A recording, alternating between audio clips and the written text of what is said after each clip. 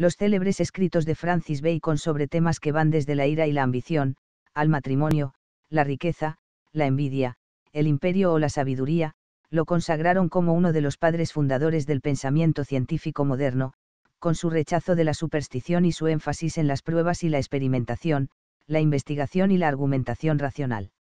Francis Bacon. De la sabiduría egoísta. De la venganza. La venganza es una especie de justicia salvaje que cuanto más crece en la naturaleza humana más debiera estirparla la ley, en cuanto al primer daño, no hace sino ofender a la ley, pero la venganza de ese daño coloca a la ley fuera de su función. En verdad que, al tomar venganza, un hombre se iguala con su enemigo, pero si la sobrepasa, es superior, pues es parte del príncipe perdonar, y estoy seguro que Salomón dice, es glorioso para un hombre excusar una ofensa. Lo pasado se ha ido y es irrevocable, y los hombres prudentes tienen demasiado que hacer con las cosas presentes y venideras, por tanto, no harían más que burlarse de sí mismos ocupándose de asuntos pasados.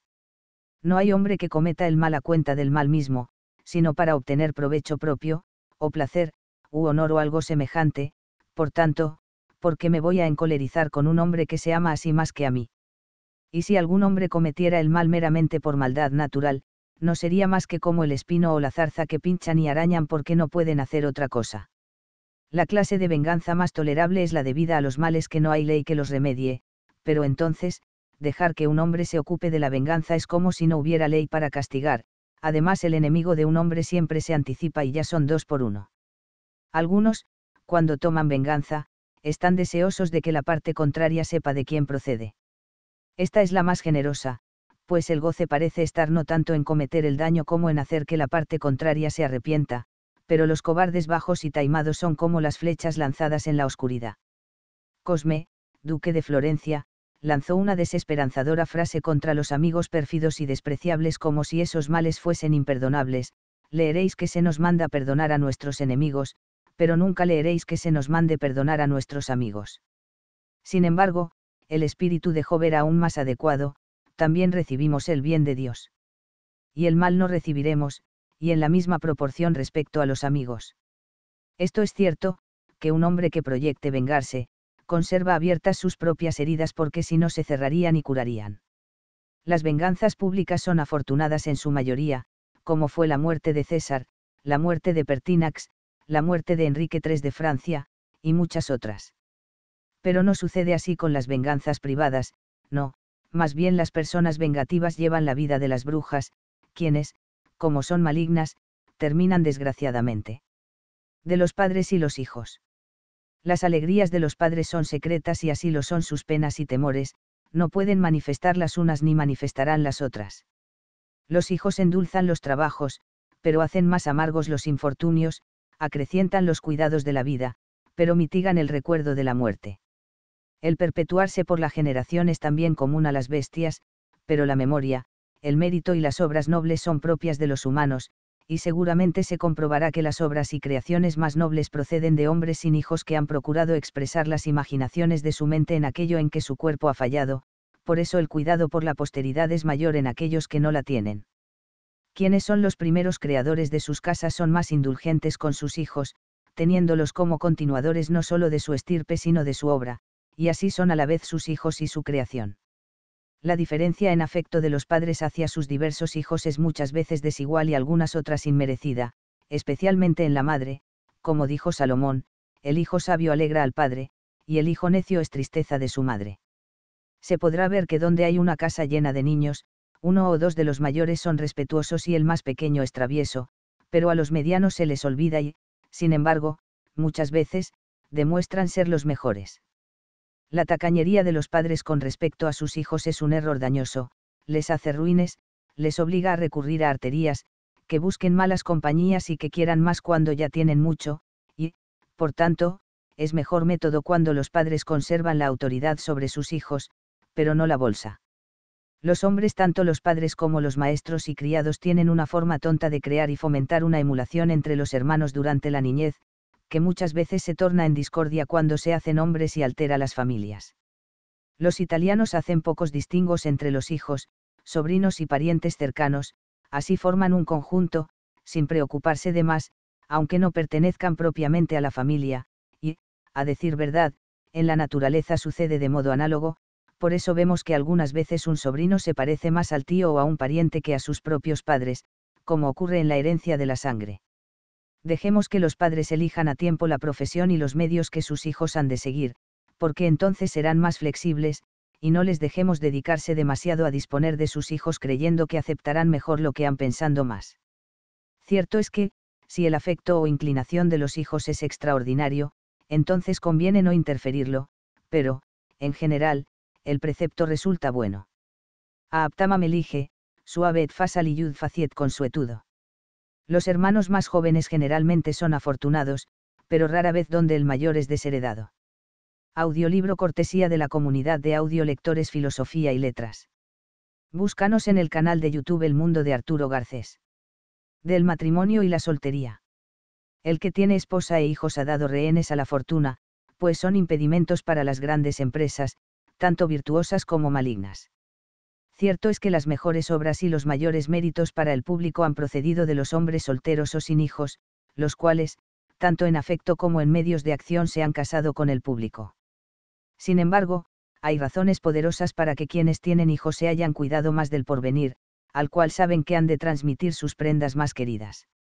Algunos hay que aunque hacen vida de soltería, sin embargo, sus pensamientos terminan en ellos mismos y consideran el porvenir como una nimiedad, también hay otros que tienen en cuenta la esposa y los hijos pero como facturas que pagar, aún más, hay algunos hombres insensatos, ricos, codiciosos que tienen a orgullo no tener hijos porque así les creerán más ricos, pues quizá han oído decir algo así, ese es un hombre muy rico, y otro le ataja, sí, pero tiene una gran carga de hijos, como si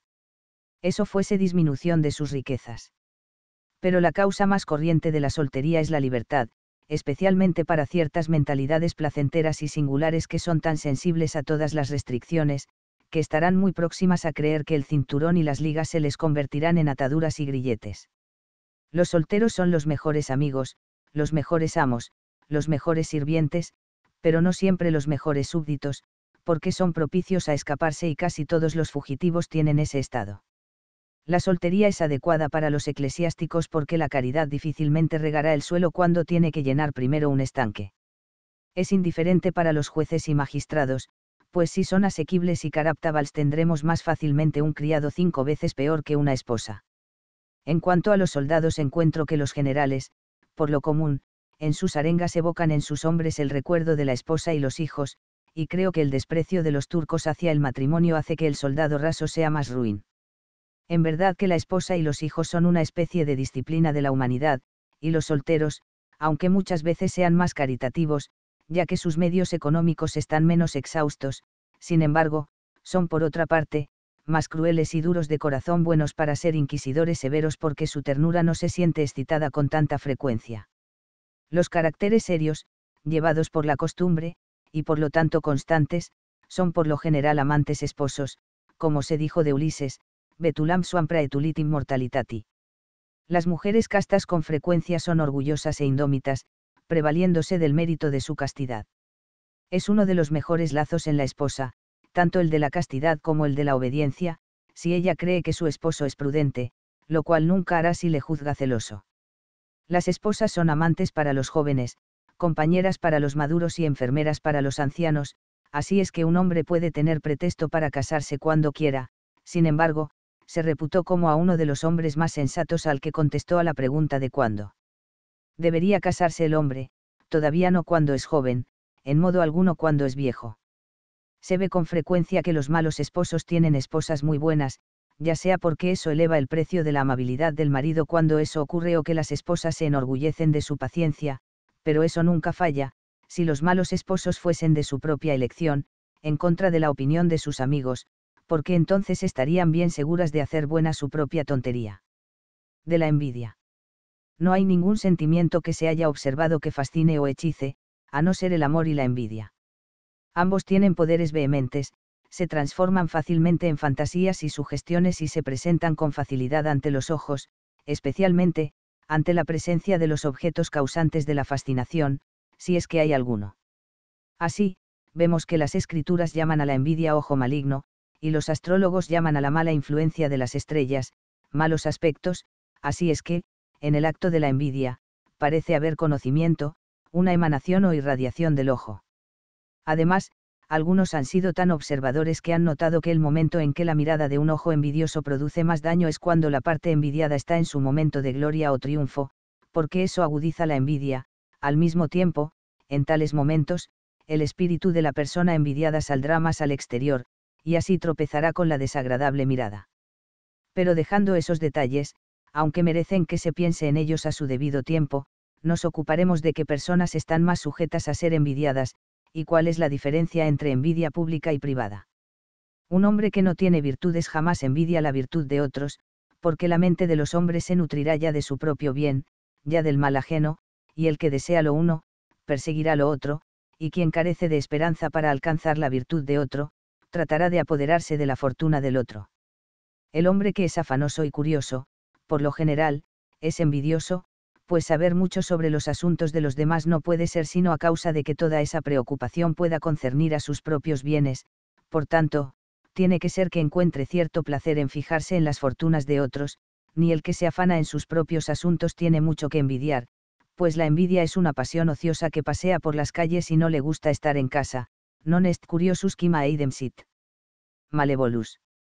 Los hombres de noble cuna se caracterizan por ser envidiosos de los hombres que se encumbran, porque se altera la distancia que los separa, y es como un engaño a los ojos porque cuando otros vienen, piensan que ellos retroceden. Las personas deformadas y los eunucos, los viejos y los bastardos son envidiosos, porque el que no puede enmendar su propio caso, hará lo que pueda por estropear el de los otros, salvo que esos defectos se produzcan en naturalezas muy bravas y valientes que piensen hacer de sus carencias naturales parte integrante de su honra, en ese caso, debería decirse, ese eunuco, o ese cojo, hizo tales cosas grandes, dando a entender la honra de un milagro, como sucedió con Narsés el eunuco, y a Gesilao y Tamerlán que eran cojos. El mismo caso es el de los hombres que se levantan después de calamidades y desgracias, pues son como hombres reñidos con su tiempo que consideran el daño de otros como una redención de sus propios sufrimientos. Los que desean sobresalir en muchos asuntos, aparte de la frivolidad y la vanagloria, son siempre envidiosos porque no pueden desear trabajo, ya que es imposible que en cada uno de los asuntos puedan sobrepasar a los otros, ese era el carácter del emperador Adriano, que envidiaba mortalmente a los poetas y pintores y a los diestros en el trabajo, respecto al cual sentía afán de sobresalir.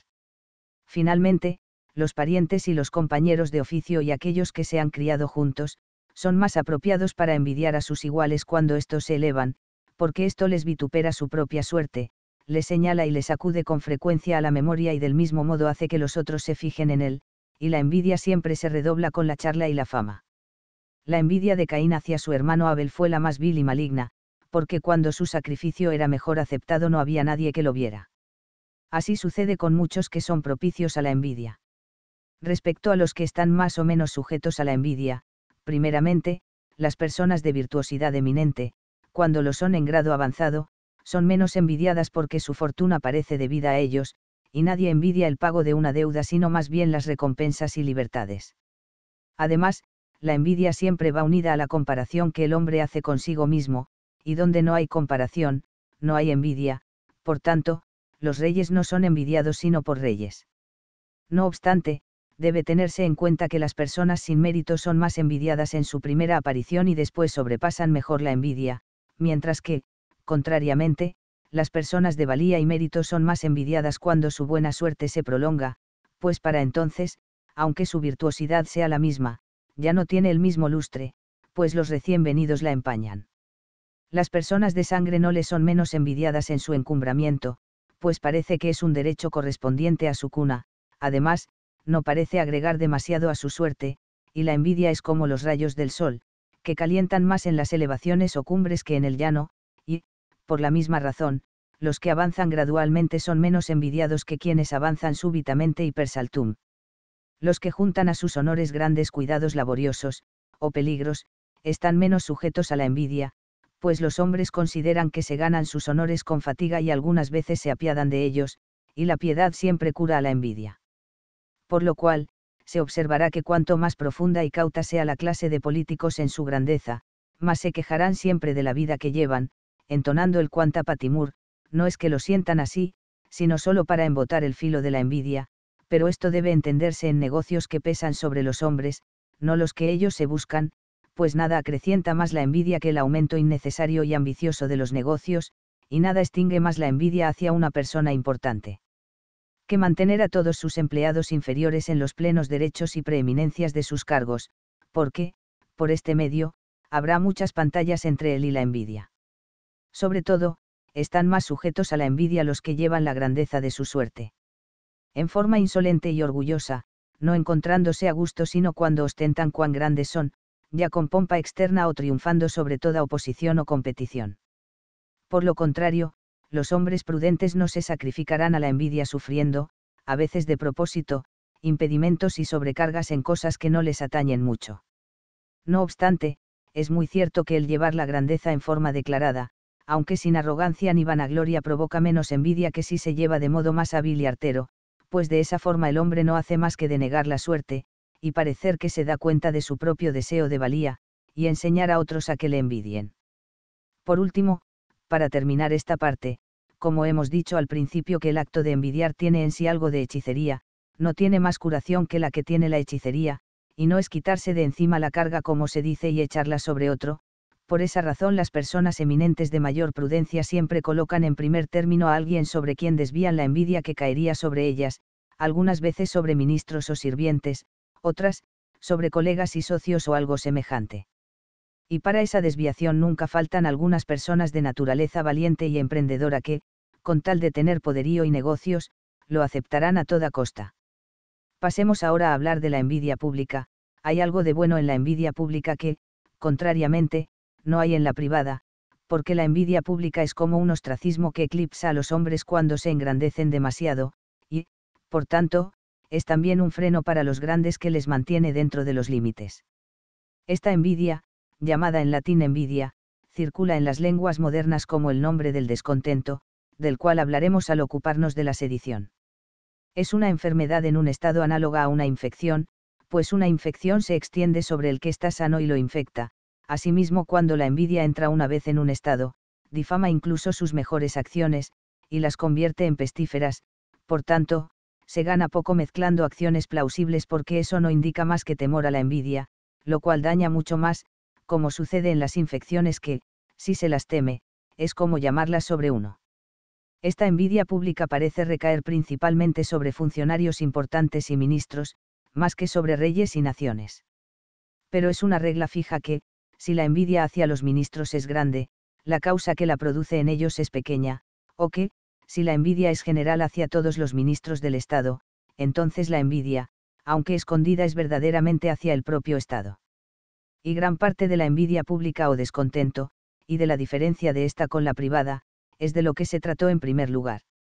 Añadiremos que, en general, tocante al sentimiento de la envidia, de todos los sentimientos es el más inoportuno y constante, pues otros sentimientos se dan en ocasiones, por lo cual se dijo acertadamente, invidia festos dais non agit, pues siempre actúa sobre uno u otros.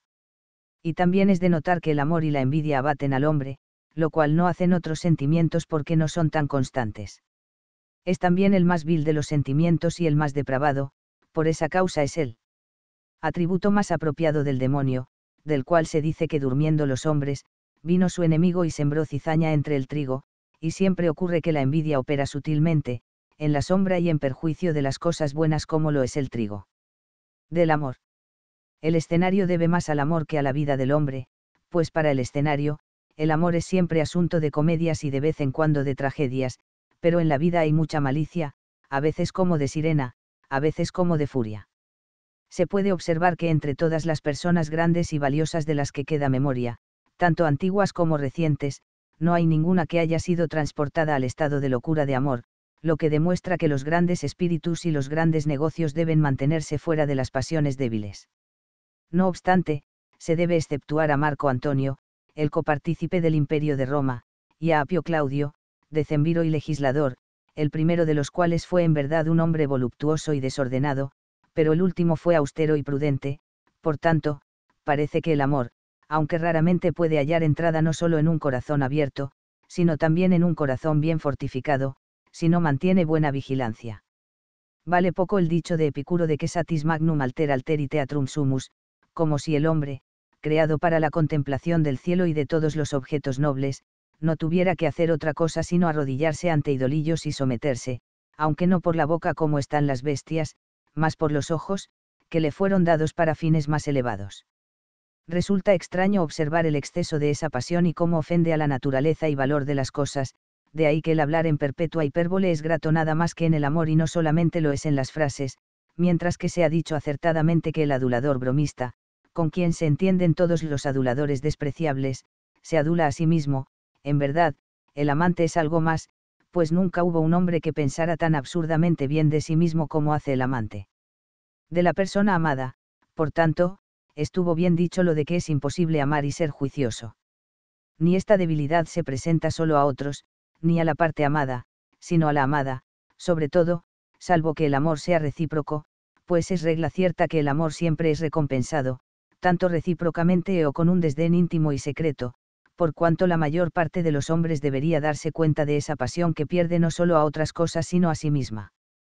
En cuanto a las otras pérdidas, las expresa bien el relato del poeta, que el que prefirió a Helena, renunció a los dones de Juno y Palas, pues quien quiera que estime demasiado la afección amorosa, renunciará tanto a las riquezas como a la prudencia.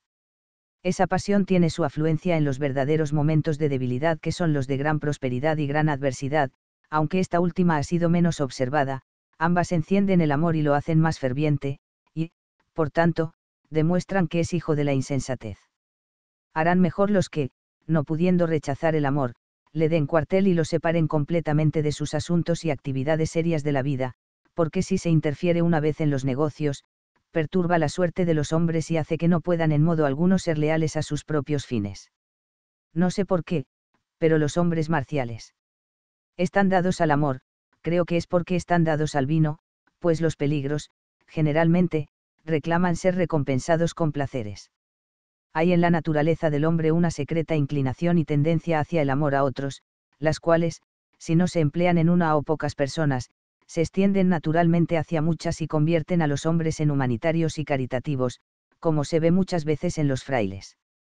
El amor nupcial hace a la humanidad, el amor amistoso la perfecciona, pero el licencioso, la corrompe y envilece. De los grandes puestos. Los hombres situados en grandes puestos son sirvientes triples, sirvientes del soberano o del Estado, sirvientes de la fama y sirvientes de los asuntos, de ese modo, no disponen libremente ni de su persona, ni de sus acciones, ni del tiempo. Es un extraño deseo buscar el poder y perder la libertad, o buscar poder sobre los demás y perderlo sobre sí mismo. Elevarse a los puestos es trabajoso y esos hombres llegan con penalidades a penalidades mayores, a veces son viles y, mediante indignidades, alcanzan las dignidades. Mantenerse en ellas es cosa escurridiza y retirarse resulta una caída, o al menos un eclipse, lo cual resulta un tanto melancólico, cum non sisqui fueris, non es velis vivara.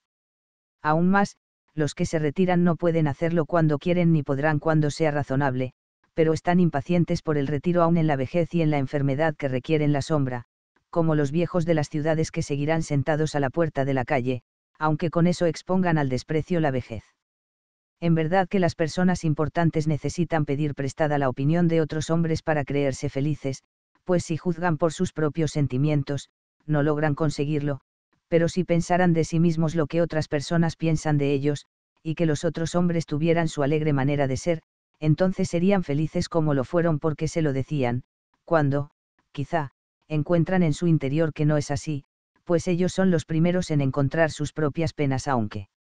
son los últimos en hallar sus faltas. La verdad es que los hombres de fortuna son extraños para sí mismos y mientras están en el embrollo de los asuntos no tienen tiempo de velar por su salud tanto corporal como mental. Ilimous gravis incubat, quinoutas nimis omnibus, ignotus moritur sibi. En el puesto hay libertad para hacer el bien y el mal, de lo cual, lo último, es una maldición, pues en el mal, la mejor condición es no desearlo, la segunda no poder. Mas hacer el bien es la finalidad verdadera y legal de las aspiraciones, pues los buenos pensamientos, aunque Dios los acepte, son poco mejor en los hombres que los buenos sueños, salvo que los ponga en obra, y esto no puede ser sin tener posibilidad y ocasión como son la ventaja y dominio de la situación. El mérito y las buenas obras son la finalidad de la actividad del hombre, y el tener conciencia de ello es alcanzar descanso, si un hombre puede compartir el teatro de Dios, del mismo modo podrá compartir el descanso de Dios. Et conversus Deius, ut aspiceret opera, oaefecerunt meina suae, vidituo omnia essent bonanimis, luego vino el sábado. Al desempeñar tu puesto pon ante ti los mejores ejemplos, pues la imitación es como un globo lleno de preceptos, y después pon ante ti tu propio ejemplo, y examínate severamente para ver si no lo hiciste mejor al principio. No desdeñes además los ejemplos de los que se comportaron mal en ese mismo puesto, no para apartarlos reprochando su recuerdo, sino para que ellos mismos te indiquen lo que se ha de evitar. Por tanto, haz reformas sin jactancia o escándalo de los tiempos y personas anteriores, pero impóntelas, tanto para sentar buenos precedentes como para seguirlos. Reduce las cosas a su primitiva institución y observa dónde y cómo degeneraron, pero pide consejo a las dos épocas, la época antigua que es la mejor y la última época que es la más apropiada. Trata de dar regularidad a tu actuación, que los hombres puedan saber de antemano que pueden esperar, pero no seas demasiado positivista y perentorio, y exprésate en buena forma cuando discrepes de tus normas.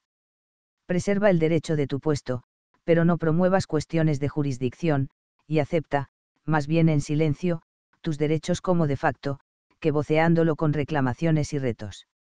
Preserva asimismo los derechos de los puestos inferiores, y piensa que es más honroso dirigir lo principal que ocuparse de todo.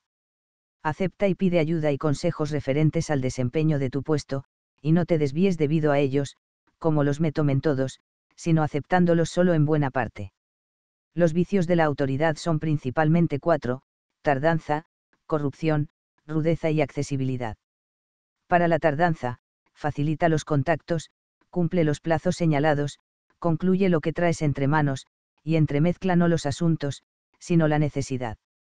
La corrupción, no solo te ata las manos y las de tus sirvientes al aceptar, sino que ata también las manos de los solicitantes al ofrecer, porque la integridad al uso hace lo uno, pero la integridad sincera y con manifiesta aversión al soborno, hace lo otro, y evita no solo la falta, sino la sospecha. Todo el que sea variable y cambie ostensiblemente sin causa manifiesta, da sospechas de corrupción, por tanto, siempre que cambies tu opinión o tu actuación, hazlo sencillamente y decláralo junto con las razones que te han movido al cambio, y no lo hagas subrepticiamente. Un sirviente o un favorito, si es íntimo sin ninguna otra causa aparente de estima, se piensa de él generalmente que es un escondido camino para la corrupción. Por lo cual, la corrupción es una causa innecesaria de descontento, la severidad alimenta al miedo, la rudeza al odio. Incluso los reproches procedentes de la autoridad deben ser serios, no insultantes. La accesibilidad es peor que el soborno, pues el soborno solo se produce de tiempo en tiempo, si la importunidad o la falta de respeto guían a un hombre nunca carecerá de ellos, como dijo Salomón, no es bueno respetar a las personas, pues tal hombre pecará por un pedazo de pan. Más verdad es lo que se dijo antiguamente, el puesto nos muestra al hombre, y nos muestra algo de lo mejor y algo de lo peor. Omnium consensu capax imperii, nisi imperasset, dijo Tácito de Galba, pero de Vespasiano dijo, solus imperantium, Vespasianus mutatus in milias, aunque en uno se refería a su capacidad y en otro a sus costumbres y aficiones. Es señal segura de un espíritu digno y generoso el enmendar el honor, porque el honor es, o debiera ser, asiento de la virtud, y como en la naturaleza las cosas se mueven violentamente hacia su sitio, y tranquilamente en su sitio, así la virtud es violenta en la ambición y aposentada y tranquila en la autoridad. Toda elevación hacia un punto importante es por una escalera de caracol, y si hay facciones, es conveniente apoyar al hombre mientras se eleva y contrapesarlo cuando haya alcanzado el puesto. Utiliza el recuerdo de los predecesores con justicia y tacto, porque si no lo haces, es deuda que tendrás que pagar cuando te hayas ido. Si tienes colegas, respétalos, y más bien llámalos cuando no lo pretendían que excluirlos cuando tienen razón para pretender que los llamen. No seas demasiado sensible ni tengas demasiado presente tu puesto durante las conversaciones y respuestas privadas con los peticionarios, es mejor que digan, cuando está en su puesto, es otro hombre. De la bondad y bondad de la naturaleza. Tomo la bondad en este sentido, el que afecta al bienestar de los hombres, que es lo que los griegos llamaban filantropía, y la palabra humanidad, tal como se usa, resulta demasiado leve para expresarla. Bondad llamo yo al hábito, y bondad de la naturaleza, a la inclinación. Siendo esta, de todas las virtudes y dignidades del espíritu, la característica de la deidad, y sin ella, el hombre resulta un ser atareado, despreciable y miserable no mejor que cualquier clase de gusano. La bondad responde a la virtud teologal de la caridad y no admite exceso, sino error. El deseo de poder excesivo produjo la caída de los ángeles, el deseo de saber excesivamente hizo caer al hombre, pero en la caridad no hay exceso ni puede el ángel o el hombre correr peligro por ella. La inclinación hacia la bondad está profundamente impresa en la naturaleza del hombre hasta tal punto que si no se orienta hacia los hombres, se dirigirá hacia otras criaturas vivientes, como se ve entre los turcos, pueblo cruel, que, sin embargo, son bondadosos con los animales, y dan alma a los perros y las aves, hasta tal extremo, como cuenta Busbechius, que un muchacho cristiano estuvo a punto de ser lapidado por atar el pico, en son de chacota, a una cigüeña. Cierto que pueden cometerse errores en esta virtud de la bondad o caridad. Los italianos tienen un proverbio chocante, tanto Bounce Valniente, y una de las eminencias de Italia, Nicolás Maquiavelo, tuvo el atrevimiento de escribir, casi en términos vulgares, que la fe cristiana había convertido a hombres buenos en presa de los tiránicos e injustos, lo cual era, según decía, porque, en verdad, nunca había habido un derecho, una secta o un pensamiento que hubiera exaltado tanto la bondad como lo había hecho la religión cristiana, por lo cual para evitar tanto el escándalo como el peligro, es conveniente conocer los errores de tan excelente hábito. Buscad el bien de los demás hombres, pero no os esclavicéis a sus apariencias o ficciones, pues eso no es más que facilidad o debilidad para apresar una mente honrada. Ni deis una gema al gallo de Esopo, que se sentiría más feliz si le dierais un grano de cebada. El ejemplo de Dios enseña la verdadera lección, Él os envía su lluvia y hace que su sol brille sobre justos e injustos, pero no hace llover riquezas ni brillar honores y virtudes por igual sobre los hombres, los beneficios comunes tienen que compartirse con todos, pero los beneficios especiales, con los elegidos. Y de ello os cuenta de cómo, al hacer el retrato, rompéis el modelo, pues la divinidad hace el modelo del amor a nosotros mismos, y el retrato, del amor a nuestro prójimo, vende todo lo que tienes, y dáselo a los pobres y sígueme, pero no vendas todo lo que tienes salvo que vengas y me sigas, es decir, salvo que tengas vocación de que puedes hacer tanto bien con pocos medios como con muchos, pues si no, al alimentar el cauce, secas la fuente. Ni hay tampoco un hábito de bondad dirigido por la recta razón, sino que hay en algunos hombres incluso en la naturaleza, cierta disposición hacia ella, como, por otra parte, hay una malignidad natural, que hace no desear el bien de los demás. La especie de malignidad más leve se torna colérica por anticipación, o aptitud para oponerse, u obstinación, o cosa análoga, pero la especie más profunda, por envidia o simple desprecio. Tales personas, ante las calamidades de los demás, se encuentran a punto y siempre se hallan en la parte más abrumadora, no es tan buena como los perros de Lázaro que le lamían las llagas, sino como moscas que están siempre zumbando alrededor de todo lo que está ulcerado, los misántropos, que acaban llevando al hombre a colgarse de un árbol y, sin embargo, nunca tienen un árbol para tal fin en sus jardines, como lo tenía Timón.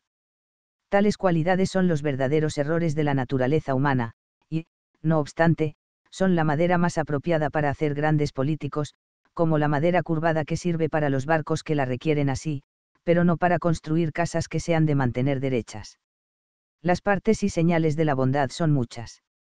Si un hombre es generoso y cortés con los extranjeros, eso demuestra que es ciudadano del mundo y que su corazón no está aislado de otras tierras sino que forma con ellas un continente, si es comprensivo para las aflicciones de los demás, eso demuestra que su corazón es como el árbol noble que se hiende cuando da su bálsamo, si perdona y condona fácilmente las ofensas, eso demuestra que su mente está por encima de las injurias, de tal modo que no puede ser alcanzado por el disparo, sí.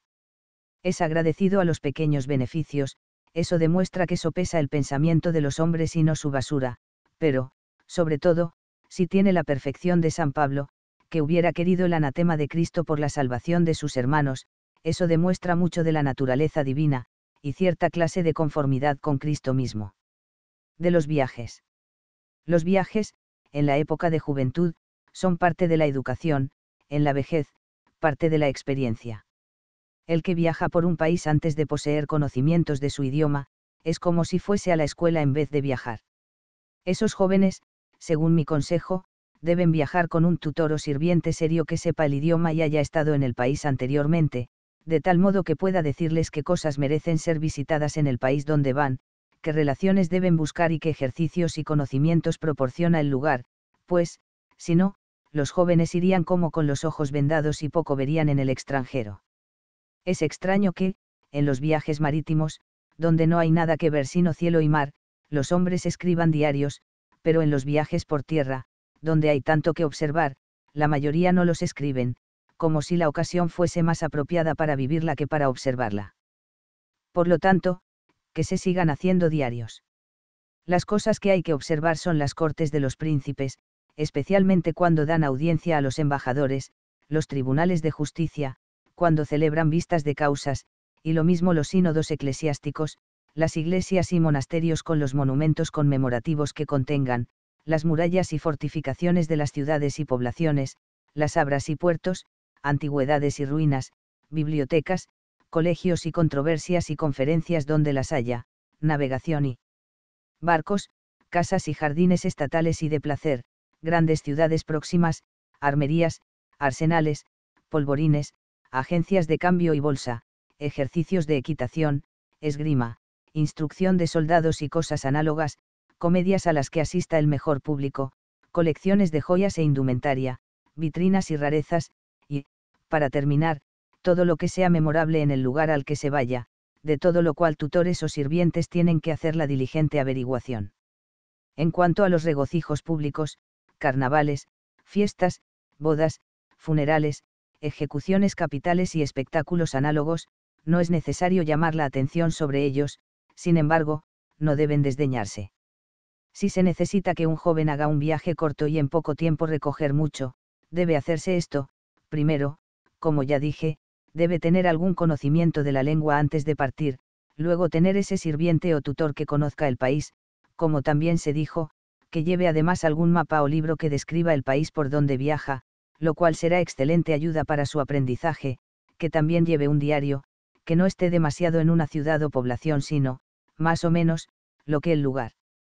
merezca, aunque nunca mucho, cuando esté en una capital o población permítasele cambiar de alojamiento de un extremo a otro de la población, eso es un gran atractivo de conocimientos personales, déjesele que se separe de la compañía de sus compatriotas y coma en los sitios donde haya buena compañía de la nación por la que se viaja, que cuando se traslade de un lugar a otro se procure recomendaciones para algunas personas calificadas residentes en el lugar al que se traslada.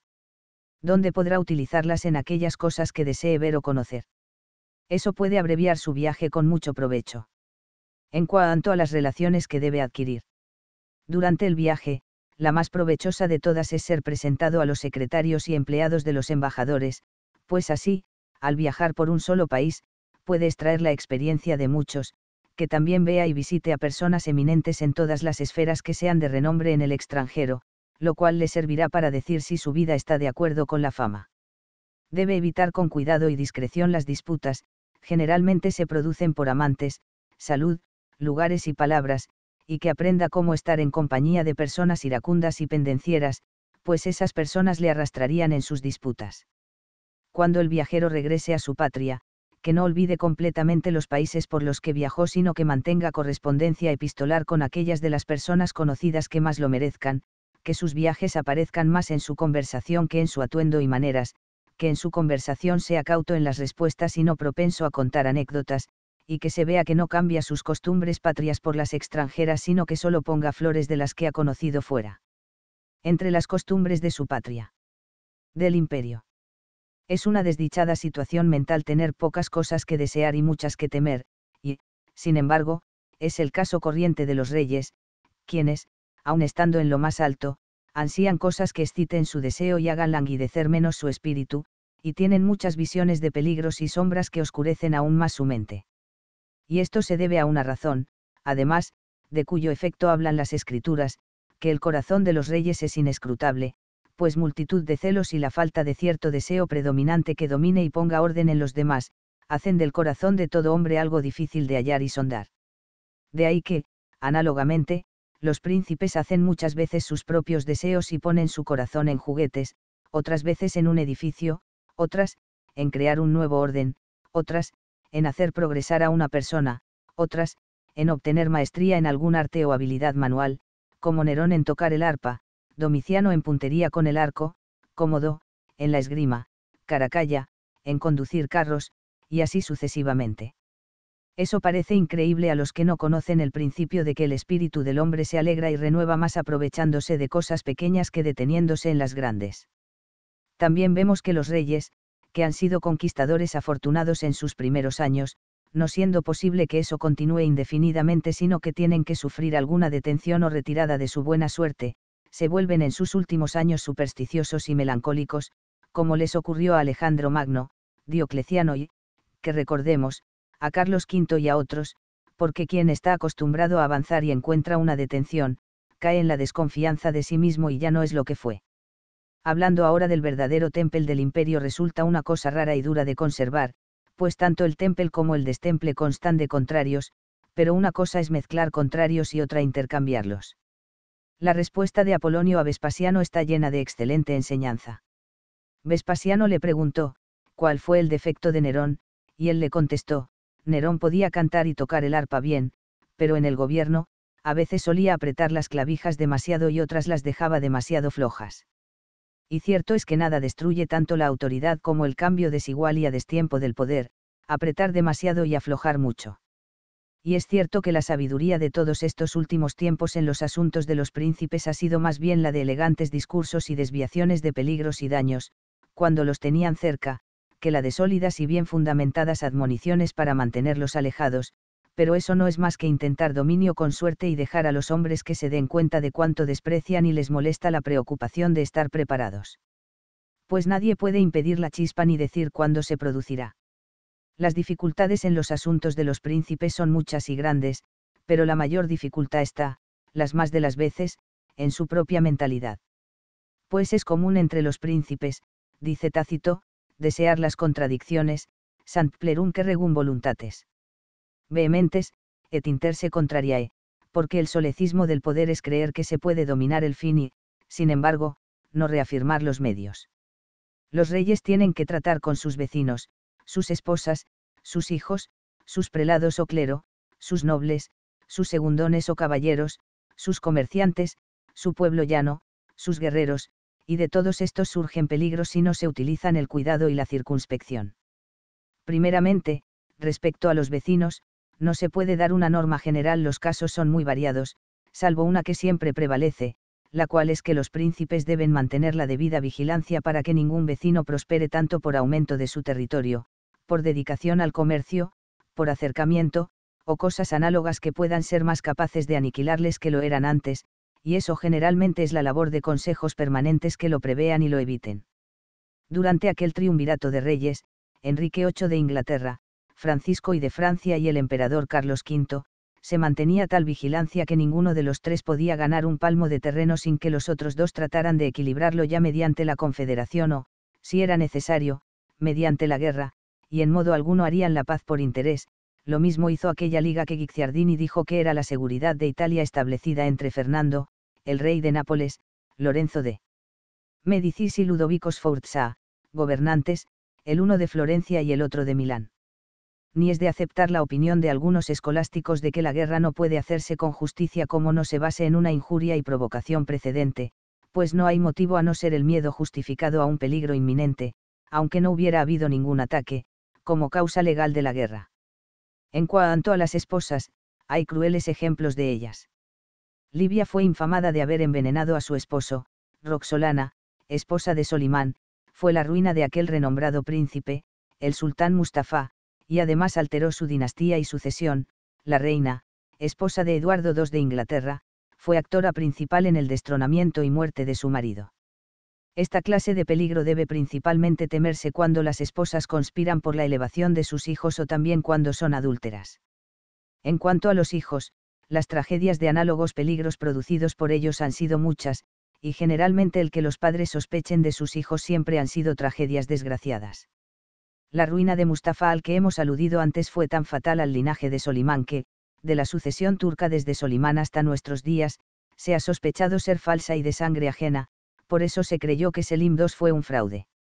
La destrucción de Crispus, joven príncipe de extraordinario empuje, por su padre Constantino el Grande, fue, del mismo modo, fatal para su dinastía, pues sus dos hijos Constantino y Constancio murieron de muerte violenta, y Constante, su otro hijo, lo pasó algo mejor, pues murió de enfermedad, pero después de que Juliano hubiera tomado las armas contra él. La muerte de Demetrio, hijo de Filipo II de Macedonia, se volvió contra su padre, pues murió de repente. Y hay muchos ejemplos semejantes, pero pocos o ninguno en el que los padres se hayan beneficiado con tal destrucción, salvo que los hijos se hubieran levantado en armas contra ellos, como hizo Selimi contra Bayaceto y los tres hijos de Enrique II, rey de Inglaterra. En cuanto a los prelados, cuando son orgullosos e importantes, también hay peligro en ellos, como ocurrió en tiempos de Anselmo y Tomás Becket, arzobispos de Canterbury, quienes, con el báculo, intentaron hacer tanto como con la espada del rey, y aún tuvieron que habérselas con reyes fuertes y soberbios, Guillermo Rufus, Enrique y Enrique II. El peligro no procede del propio Estado sino donde depende de una autoridad extranjera, o donde los eclesiásticos intervienen y son elegidos, no directamente por el rey o protectores particulares, sino por el pueblo. Respecto a los nobles, no es equivocado mantenerlos a distancia, pero rebajarlos puede dar más absolutismo al rey, aunque menos seguridad y menor posibilidad de realizar cualquier cosa que desee.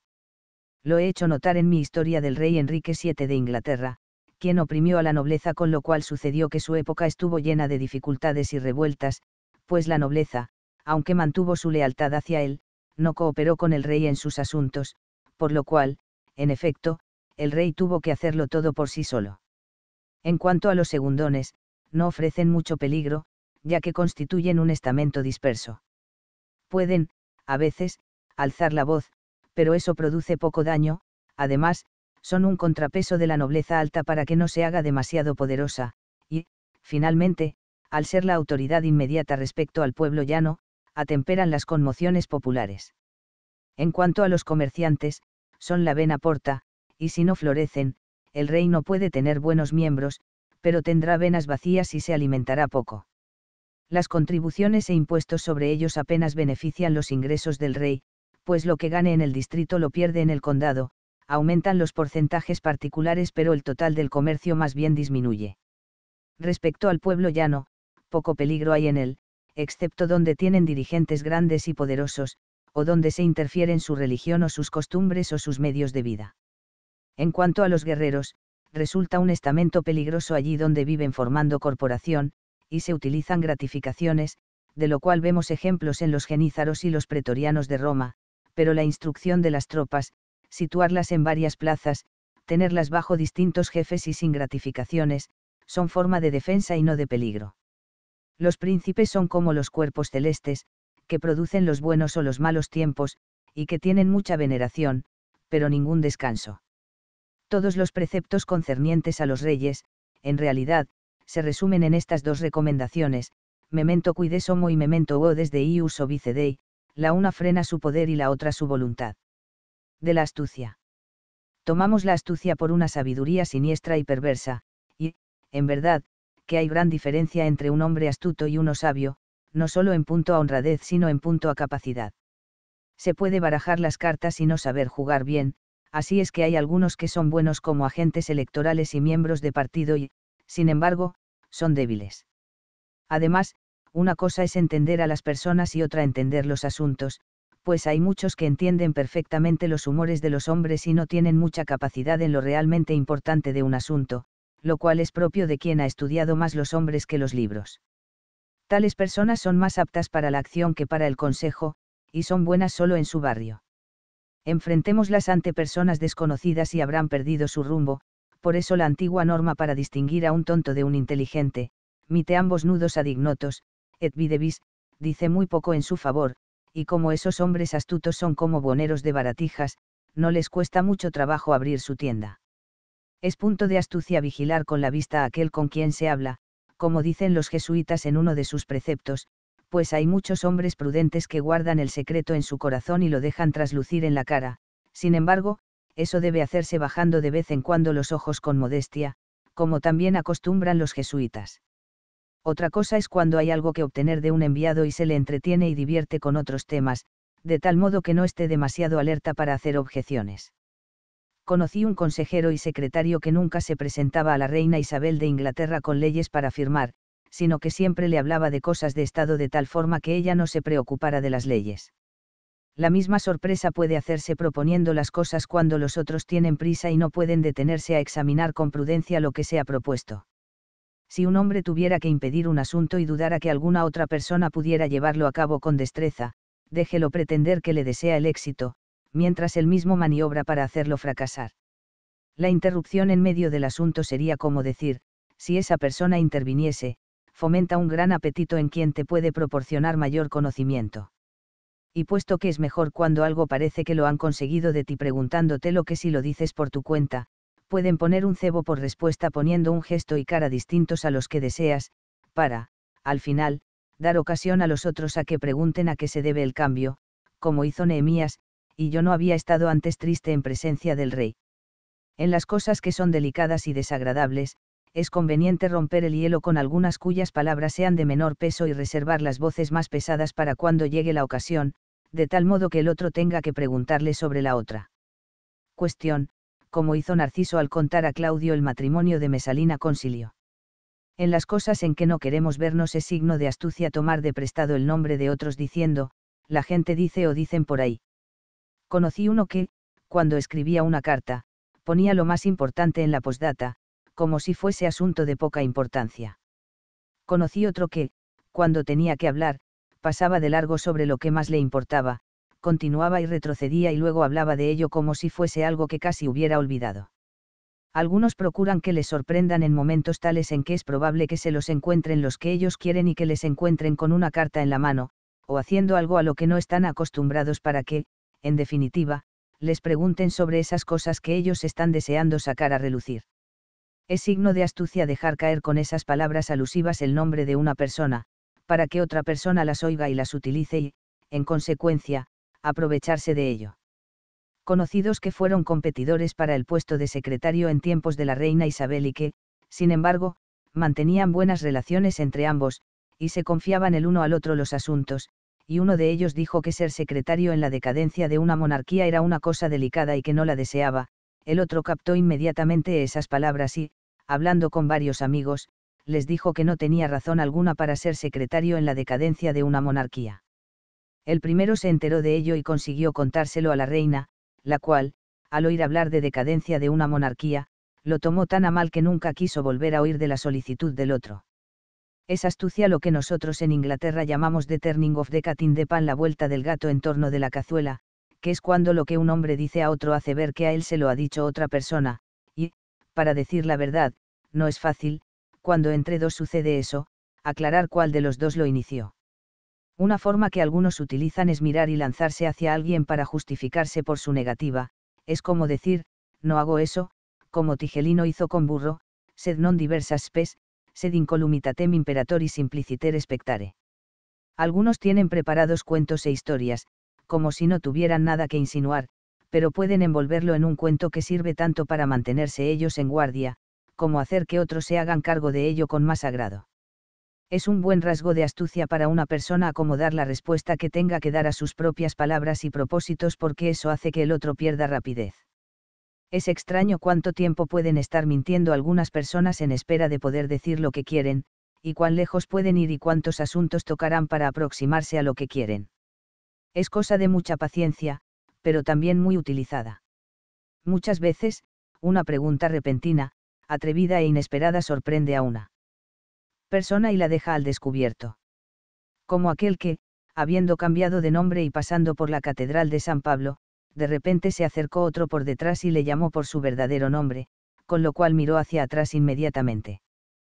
Pero esas fruslerías y pequeñas astucias son infinitas y estaría bien hacer una lista de ellas, pues nada hace más daño en un estado que esos hombres astutos pasen por sabios. Más, en verdad, algunos hay que conocen los resortes y vicisitudes de los negocios y, sin embargo, no pueden meterse de lleno en ellos, como una casa que tiene entrada y escalera apropiadas pero ninguna habitación amplia. Por lo tanto, se les verá encontrar buenas ocasiones al final, pero son incapaces de examinar o discutir los asuntos, y, sin embargo, por lo general, se aprovechan de su incapacidad y dirán agudezas acerca de la dirección. otros más bien se basarán en el engaño de los demás valiéndose de triquiñuelas más que de solidez de sus propios procedimientos, pero Salomón dice, prudence advertit ad gressus suus, stultus divertit ad dolos. De la sabiduría egoísta. Una hormiga es sabia para sí, pero resulta maligna en una huerta o en un jardín, y, en verdad, los hombres que se aman a sí mismos demasiado arruinan la cosa pública.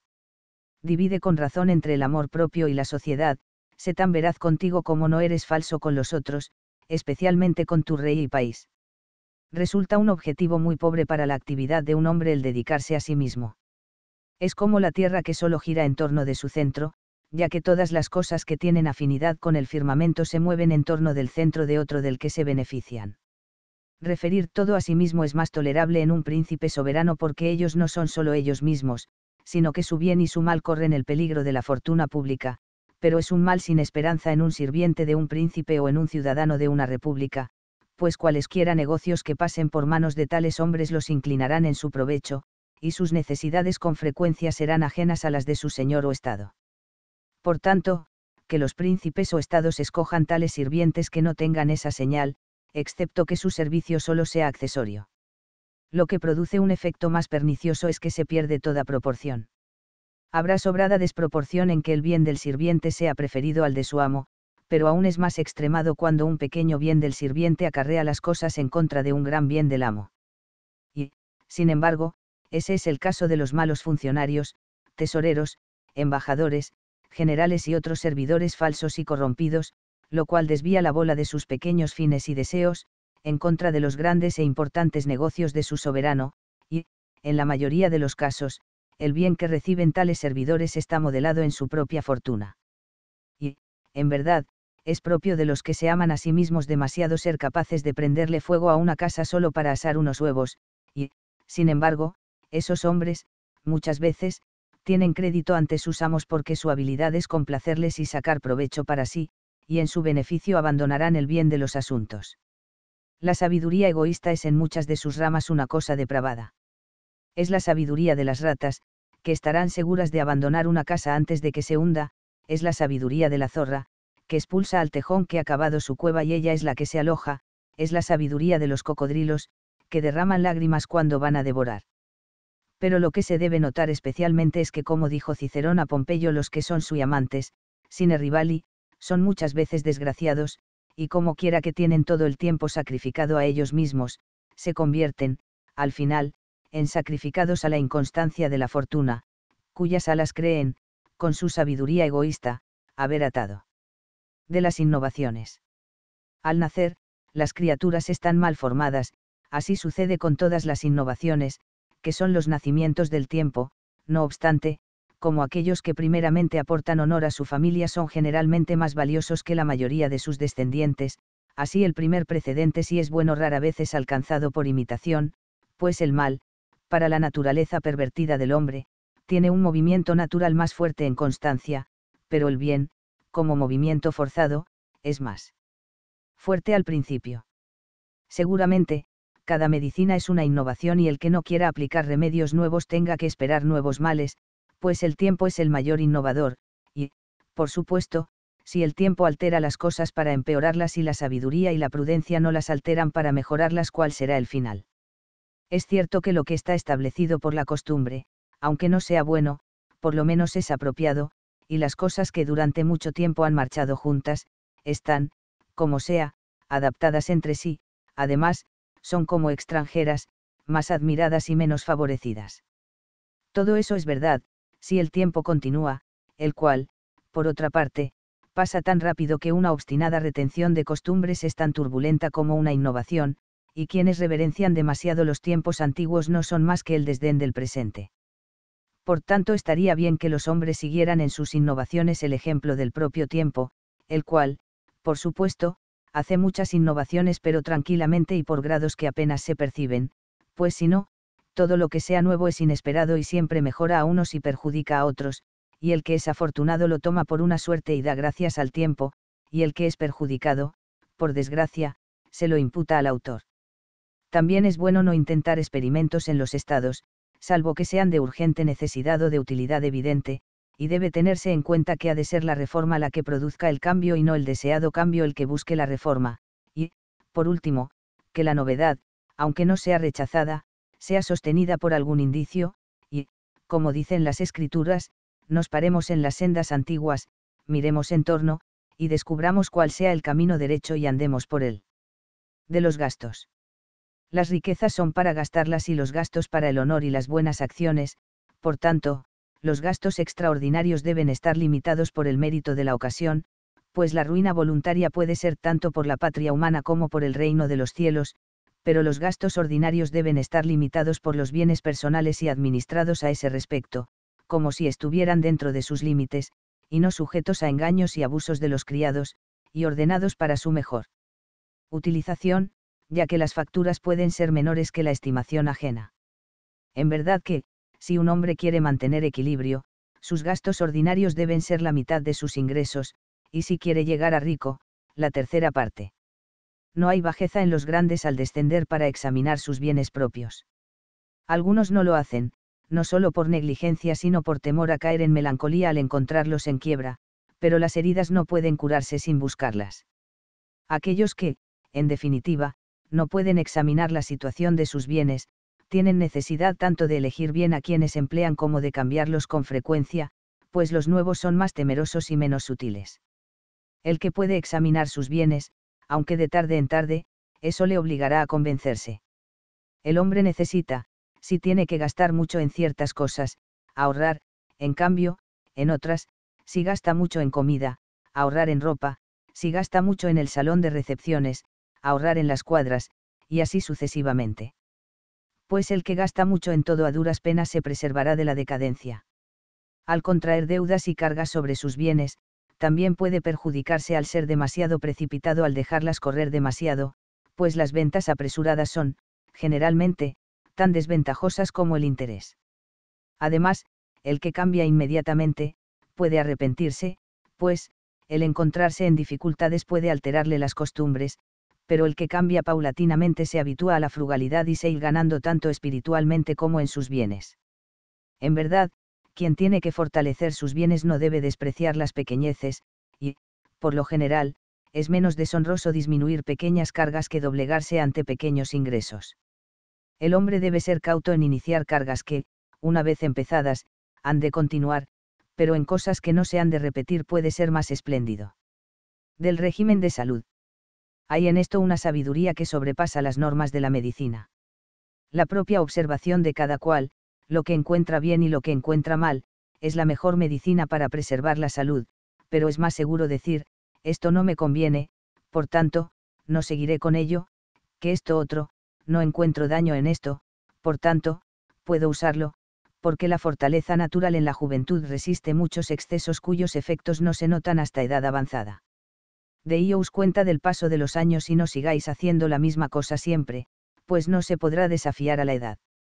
Estad alerta ante los cambios repentinos en los puntos importantes de la alimentación y, si es necesario imponerlos, adaptad lo demás a ellos, pues es un secreto, tanto en lo natural como en lo artificial, que es más seguro cambiar muchas cosas que una sola.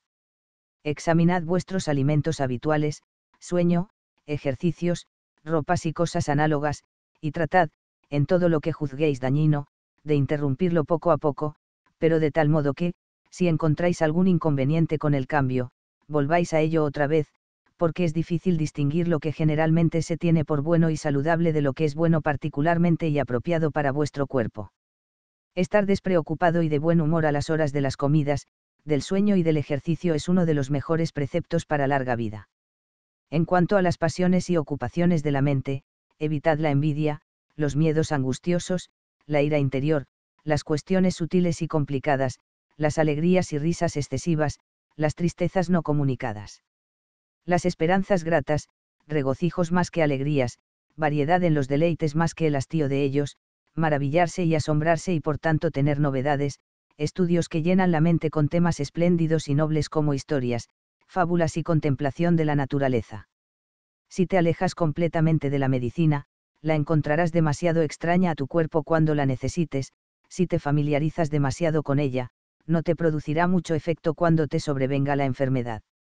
más bien recomiendo alguna dieta en ciertas estaciones que el uso frecuente de la medicina, salvo que se haya hecho ya habitual porque entonces esas dietas alteran más el cuerpo, pero lo perjudican menos. No desprecies los nuevos acaecimientos en tu cuerpo, sino que has de pedir consejo sobre ello. En la enfermedad, pon atención a la salud, y en la salud, a la acción. Porque quienes se preocupan de mejorar su cuerpo durante la salud, pueden, en la mayoría de las enfermedades que no sean muy agudas, curarse solo con dieta y vigilancia. Celso no habría podido hablar como médico de no haber sido un sabio al mismo tiempo, cuando daba como uno de los grandes preceptos de salud y longevidad que el hombre debía variar e intercambiar los contrarios, pero con tendencia al extremo más benigno. Utilizar el ayuno y la comida completa, pero más bien la comida completa, velar y dormir, pero mejor dormir, reposo y ejercicio, aunque mejor el último, y así sucesivamente, así se cuidará la naturaleza y se enseñará a dominarla. Algunos médicos son muy complacientes y conformables con el humor del paciente con lo que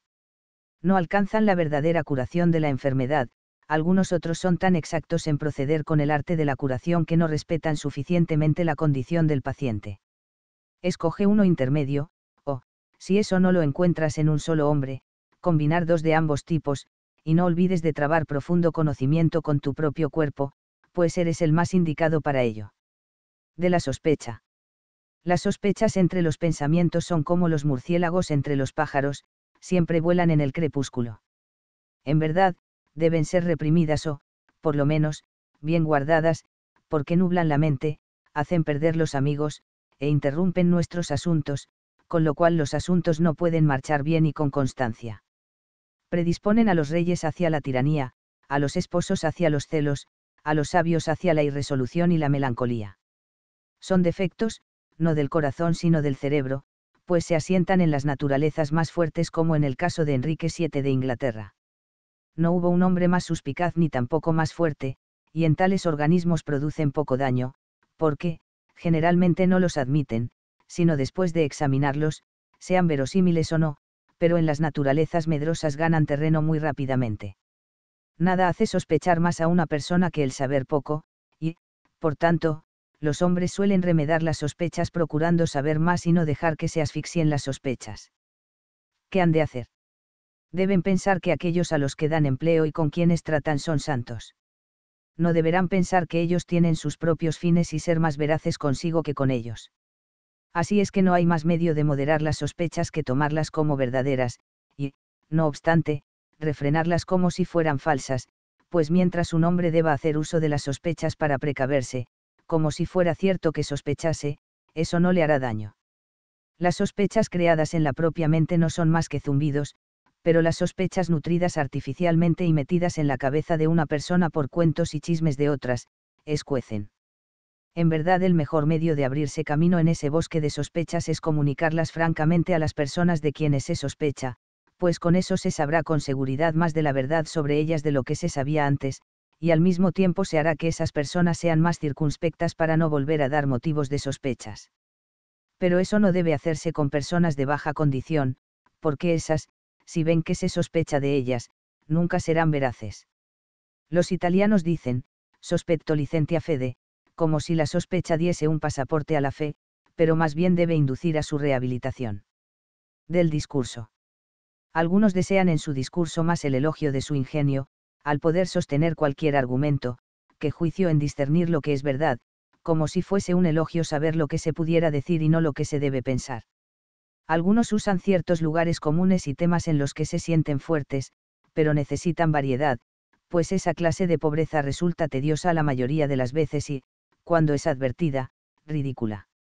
La parte más honorable de la conversación es proponer el tema y luego moderar la marcha y pasar a cualquier otro, de ese modo, el que habla dirige la danza.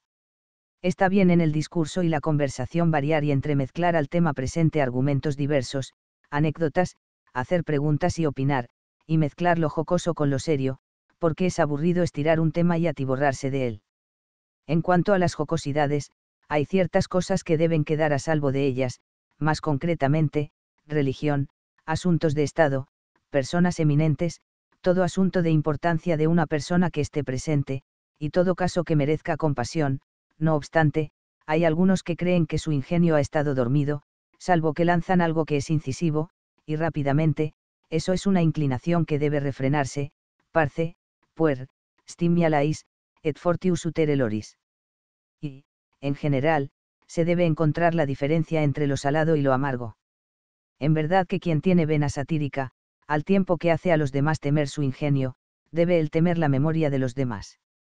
El que pregunta mucho aprenderá y satisfará mucho, pero, en especial, si encamina sus preguntas a la habilidad de las personas a quienes pregunta, pues les dará ocasión de complacerse en contestar, y él seguirá recogiendo información, pero que sus preguntas no sean embarazosas pues eso es propio de los examinadores. Y que esté seguro de dejar a los otros su correspondiente turno para hablar, es más, si hay alguien que quiera predominar y ocupar el solo todo el tiempo, déjesele tiempo para que se descargue y que continúen los otros, como hacen los músicos con los que bailan gallardas demasiado largas. Si disimulas algunas veces tu conocimiento de lo que crees saber, en otra ocasión pensarás que conoces lo que no sabes. El hablar un hombre de sí mismo debe ser raras veces y eligiendo bien.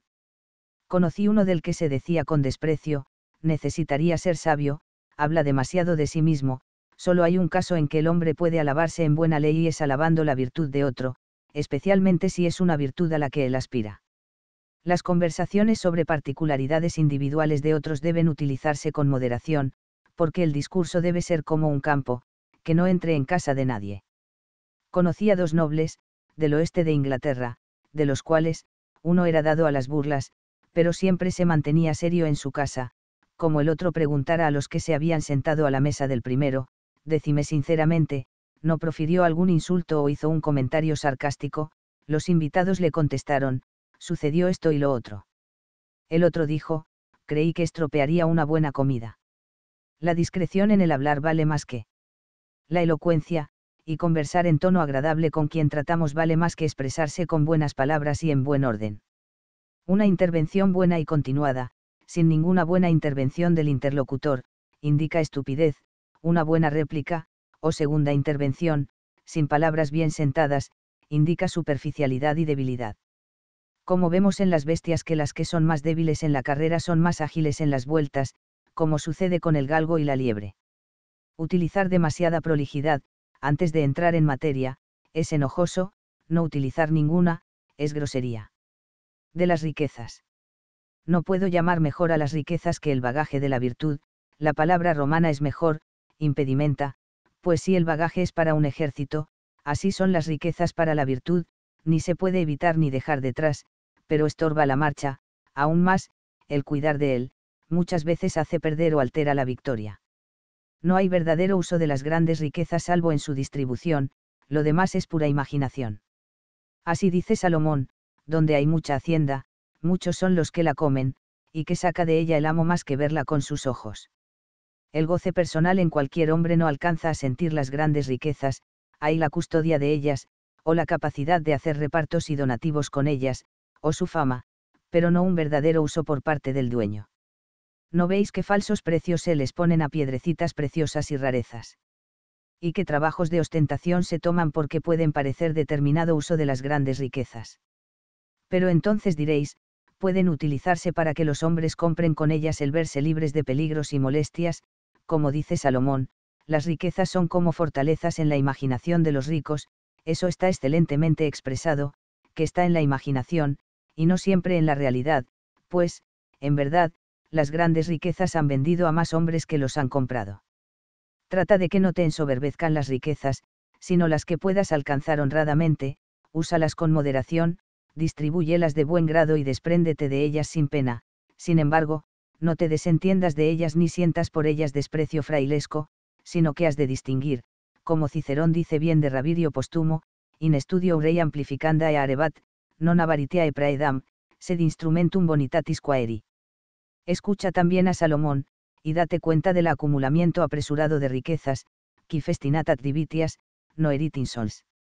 Los poetas dicen que cuando Pluto que es rico es enviado por Júpiter, cojea y va despacio, pero cuando le envía Plutón, corre y es ligero de pies, significado, que las riquezas alcanzadas por medios lícitos y trabajo honrado caminan despacio, pero cuando proceden de la muerte de otros por herencias, testamentos y demás, se precipitan sobre el hombre.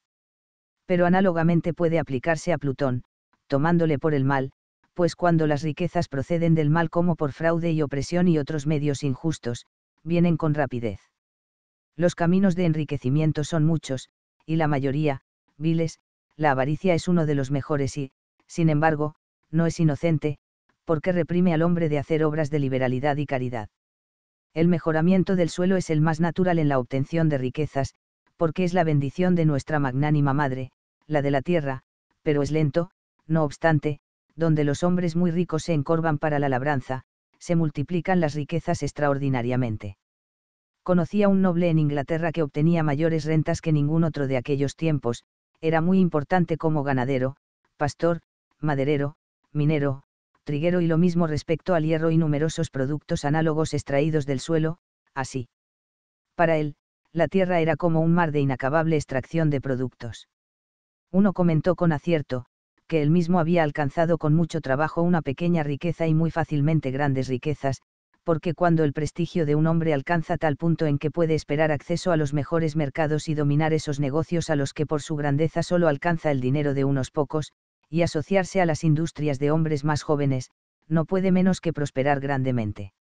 Las ganancias del comercio corriente y de las profesiones son honradas, favorecidas principalmente por dos cosas, por la diligencia y por la buena fama en los tratos, pero las ganancias en los negocios ocasionales son de naturaleza más dudosa, cuando sea de esperar la necesidad de otras, tratar con sirvientes e intermediarios que intervengan en ellos, desplazar con astucia a otros que habrían sido mejores vendedores y otros recursos que son habilidosos e inmorales.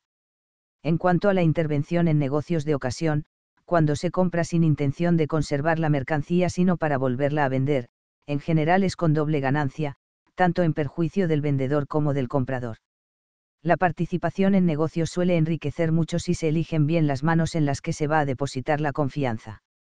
La usura es uno de los medios de ganancia más seguros pero uno de los peores, ya que por él se come el pan insudore vultus alieni, y, además, tendrá que afanarse hasta en los domingos, a pesar de todos los pesares tiene sus fallos, por eso los prestamistas piden que los desconocidos sean avalados por alguien que responda por ellos. La suerte, que interviene la primera en todo descubrimiento, o en todo privilegio, produce, a veces, un asombroso acrecentamiento de las riquezas, como sucedió con el primer cultivador de azúcar en las Canarias, por tanto, si alguien puede actuar con verdadera lógica y tener a la vez juicio e ingenio, puede hacer grandes cosas, especialmente si los tiempos son apropiados. Los que se apoyan en ganancias seguras, difícilmente alcanzarán grandes riquezas, y los que ponen todo en la aventura, con frecuencia quiebran y llegan a la pobreza, por tanto, es bueno guardarse de las aventuras que tengan probabilidades de pérdida. Los monopolios y el acaparamiento de productos para su venta, donde no haya restricciones, son grandes medios de enriquecimiento, especialmente si se conoce qué cosas van a tener gran demanda y poderlas almacenar de antemano. Las riquezas alcanzadas por servicios, aunque sean del mejor origen, cuando se consiguen con adulación, complacencias y otros recursos serviles, pueden colocarse entre las peores. En cuanto a los pescadores de testamentos y albaceazgos como dice Tácito de Séneca, testamenta et orbos tamuam indagine capies todavía peor, por los muchísimos hombres que al requerir un servicio se someten a personas peores que ellos.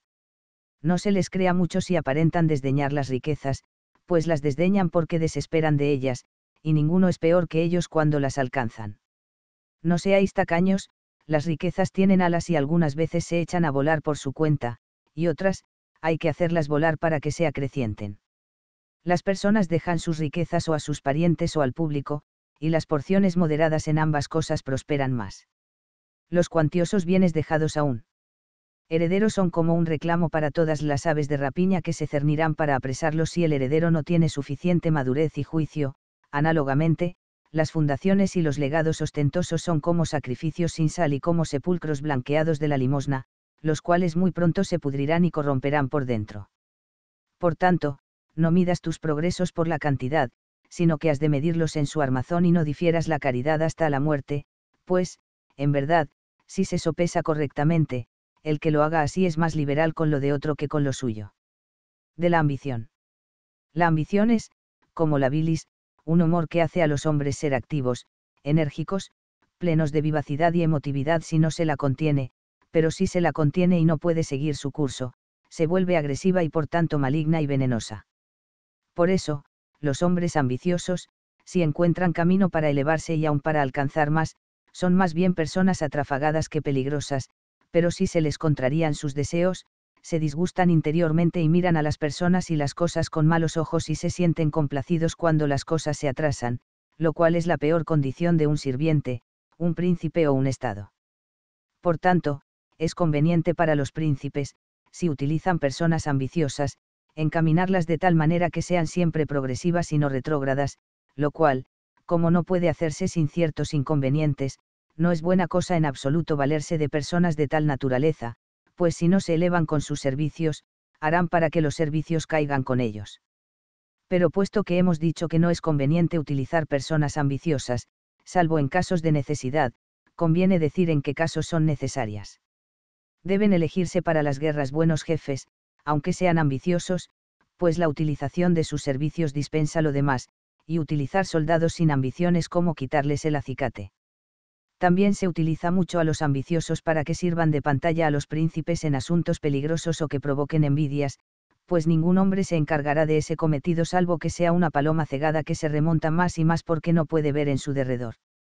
También se utiliza a los ambiciosos en abatir la grandeza de cualquiera que se remonte demasiado, como Tiberio utilizó a Macro en la caída de Sellano.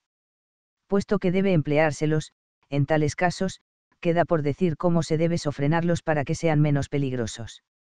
Hay menos peligro en ellos si son de cuna humilde que si son nobles, y si son rudos que si son amables y populares, y si son de reciente elevación que si tienen madurez en su maña y se sienten fuertes en su grandeza.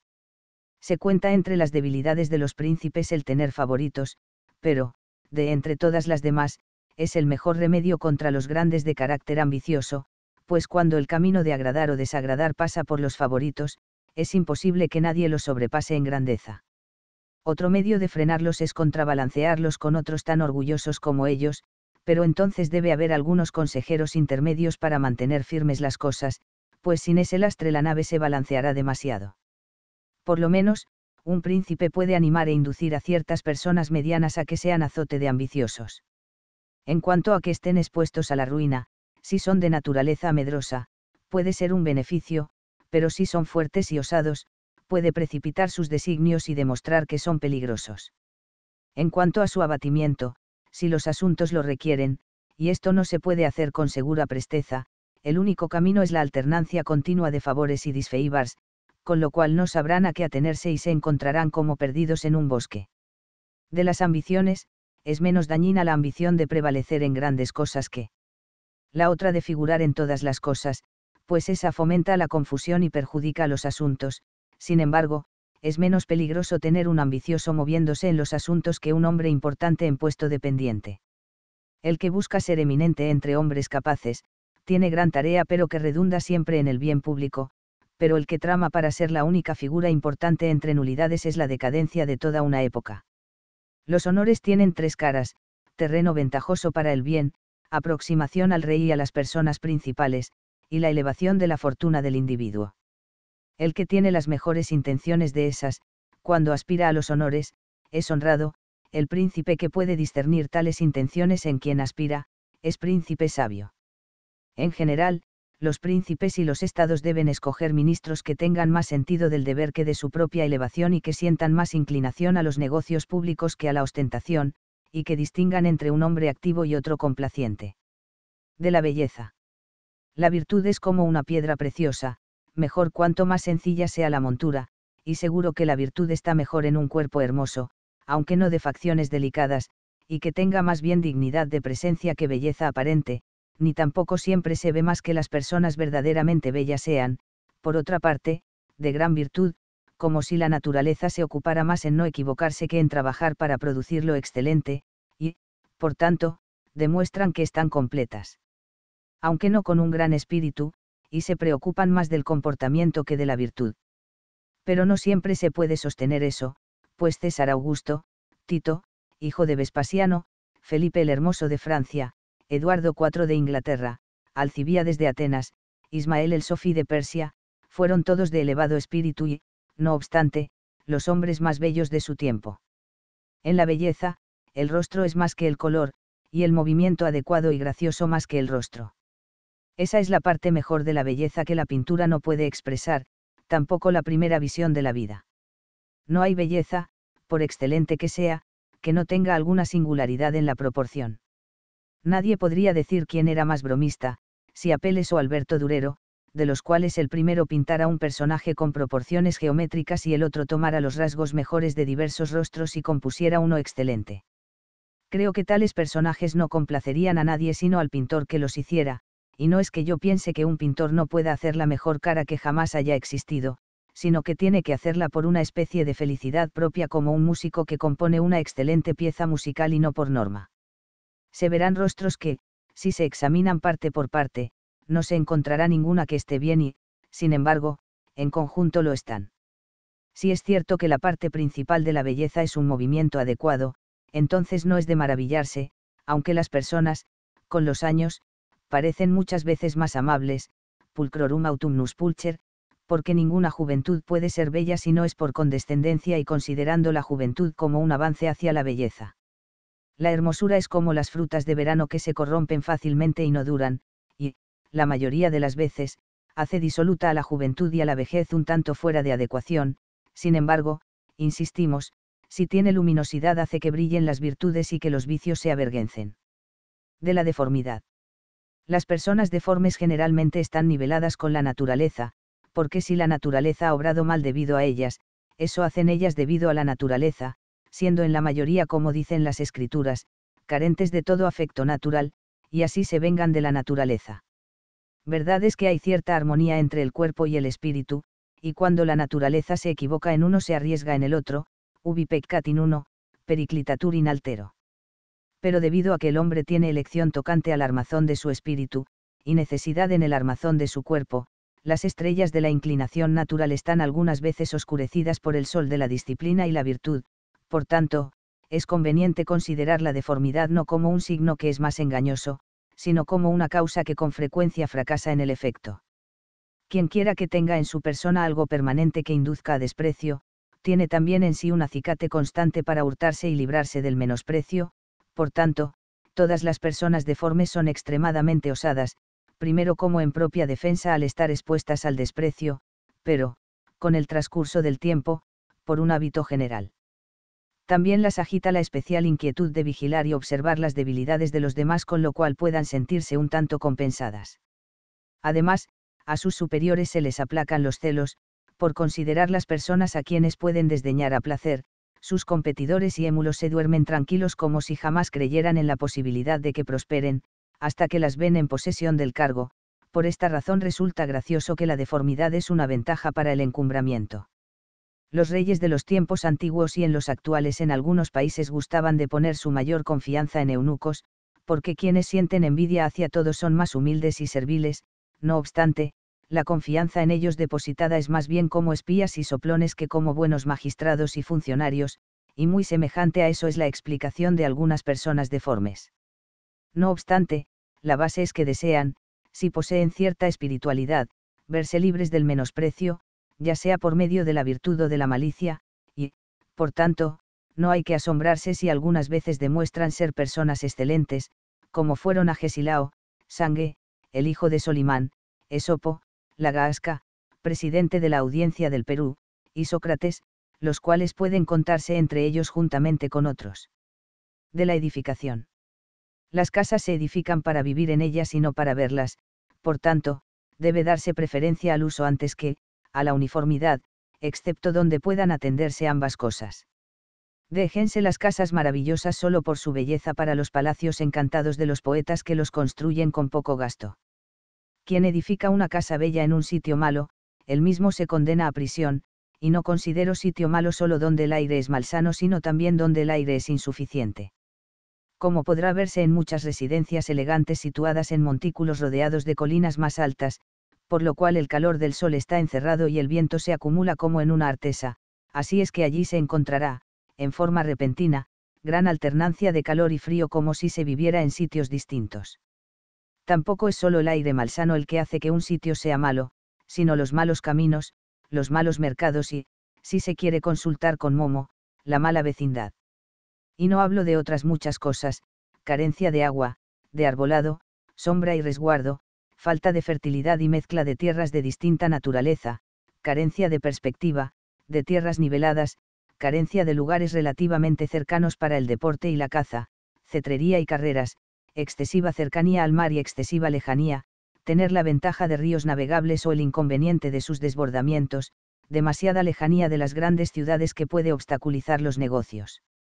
O excesiva cercanía que se devora todas las provisiones y encarece todo, donde se puede vivir con abundancia o donde todo escasea, todo lo cual, como quizás sea imposible encontrarlo reunido, es conveniente conocerlo y meditarlo para poder reunir cuanto se pueda de todo ello,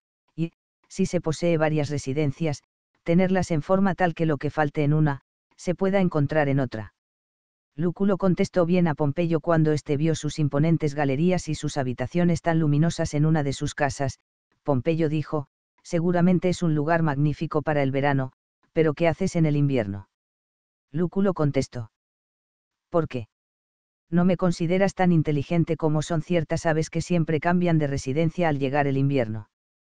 Pasando del sitio a la casa misma, haremos como Cicerón en el arte del orador que escribió libros de oratore y un libro titulado Oratar, de los cuales, los primeros dan los preceptos del arte y el último la perfección. Por tanto, describiremos un palacio suntuoso haciendo de él un modelo breve, pues es extraño ver ahora en Europa enormes edificaciones tales como el Vaticano y el Escorial, y algunos otros que, no obstante, carecen de habitaciones verdaderamente adecuadas. Por tanto, digo en primer lugar que no se puede tener un palacio perfecto salvo que tenga dos partes distintas, una parte para los festines, como se dice en el libro de Esther, y otra parte para la familia, la una es para las fiestas y espectáculos vistosos y la otra para habitarla. Entiendo que ambas partes tengan no solo sus interiores, sino que formen conjunto con la fachada y sean uniformes exteriormente, aunque con diversas divisiones en el interior, y estar a ambos lados de una torre grande y majestuosa situada en medio de la fachada, es decir, como si las juntara a las dos en una mano yo pondría en el lado delantero de la parte destinada a festines solo una buena habitación al final de la escalera de unos 12 metros de altura, y debajo una sala de vestuario y preparación para los días de espectáculo. La otra parte, que es la destinada a vivienda, me gustaría dividirla primeramente con un salón y una capilla con un tabique entre ambos, uno y otra de buen aspecto y tamaño y que no abarcaran toda la longitud, sino que en el extremo más alejado pondría una salita de invierno y otra de verano, ambas agradables, bajo estas salitas una bodega subterránea bien acondicionada y amplia, análogamente, algunas cocinas privadas con despensas y demás. En cuanto a la torre, me gustaría que tuviese dos pisos de cinco metros y medio cada uno en las dos alas con hermosas vidrieras emplomadas, con balaustrada y con estatuas interpuestas, la torre había de estar dividida en dos habitaciones según conviniera. Análogamente, la escalera para las habitaciones altas ha de estar sobre una amplia pilastra y con una balaustrada con ornamentos de madera sobre color de bronce y un amplio rellano al final. Esto se hará en el caso de que no se destine alguna de las habitaciones bajas para comedor de la servidumbre, pues si no, se tendría el comedor del servicio detrás del otro, y los humos del uno pasarían al otro como por una chimenea. Ya hemos dicho bastante de la parte delantera, solo queda decir que la escalera de entrada sea de cuatro metros y medio que es la altura de la habitación más baja. Tras de la parte delantera habrá un patio, y en las cuatro esquinas de este patio, hermosas escaleras dentro de torretas que sobresalgan de la línea del propio edificio, pero estas torretas no tendrán la altura de la torre de la fachada sino en proporción a la parte más baja del edificio. Que el patio no esté pavimentado, porque eso produce mucho calor en verano y mucho frío en invierno, sino solo senderos empedrados cruzándose, y los espacios interiores con hierba segada, pero no demasiado.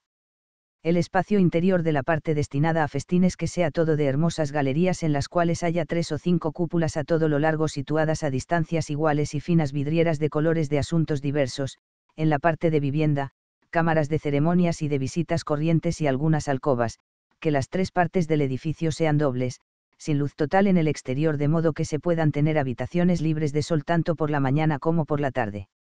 Diseñese también de modo que se puedan tener habitaciones para el verano y para el invierno, sombreadas para el verano y calientes para el invierno.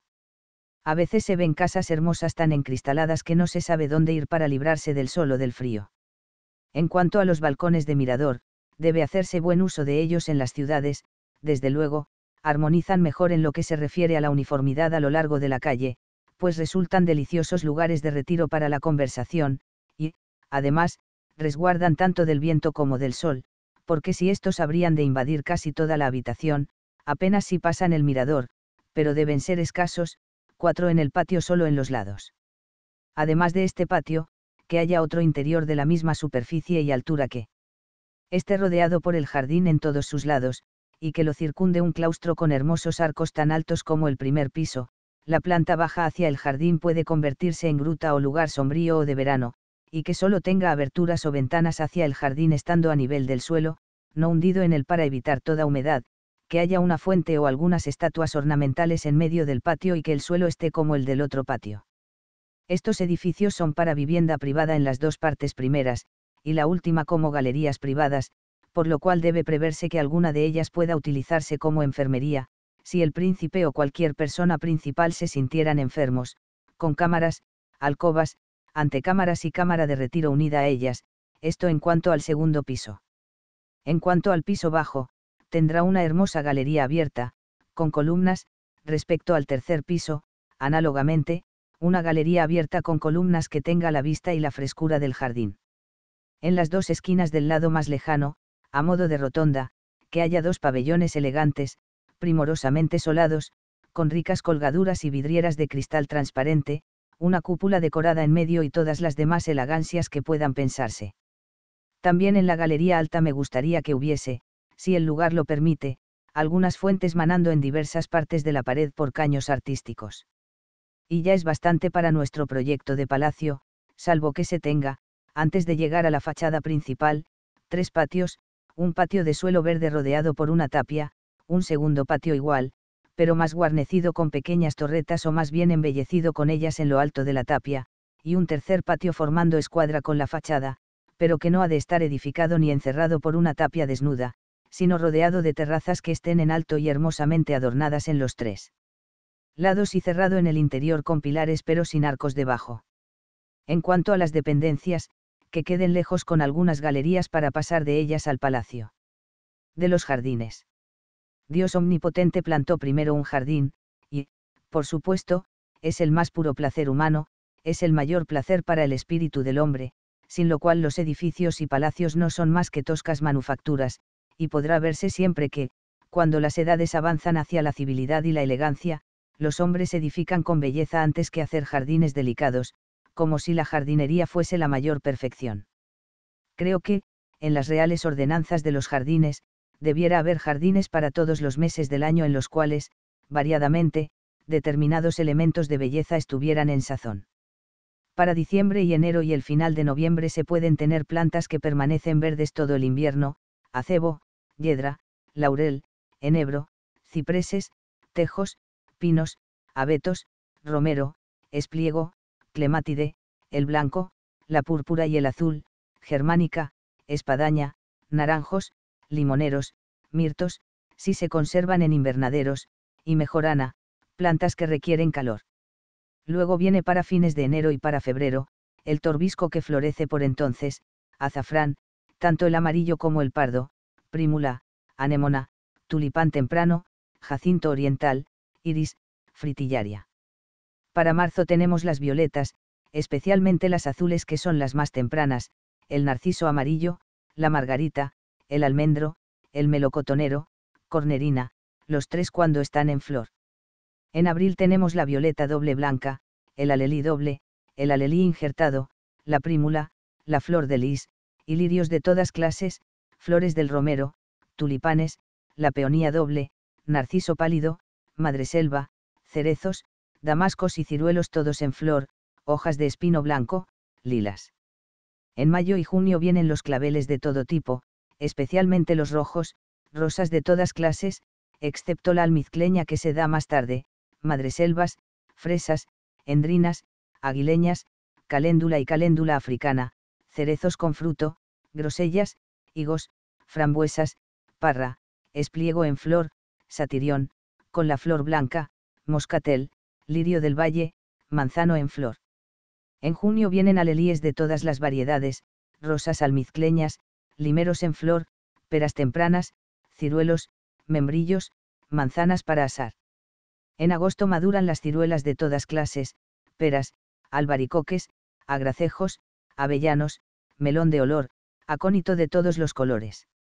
En septiembre vienen las uvas, manzanas, amapolas de todos los colores, melocotones, membrillos, duraznos, cornerina, peras.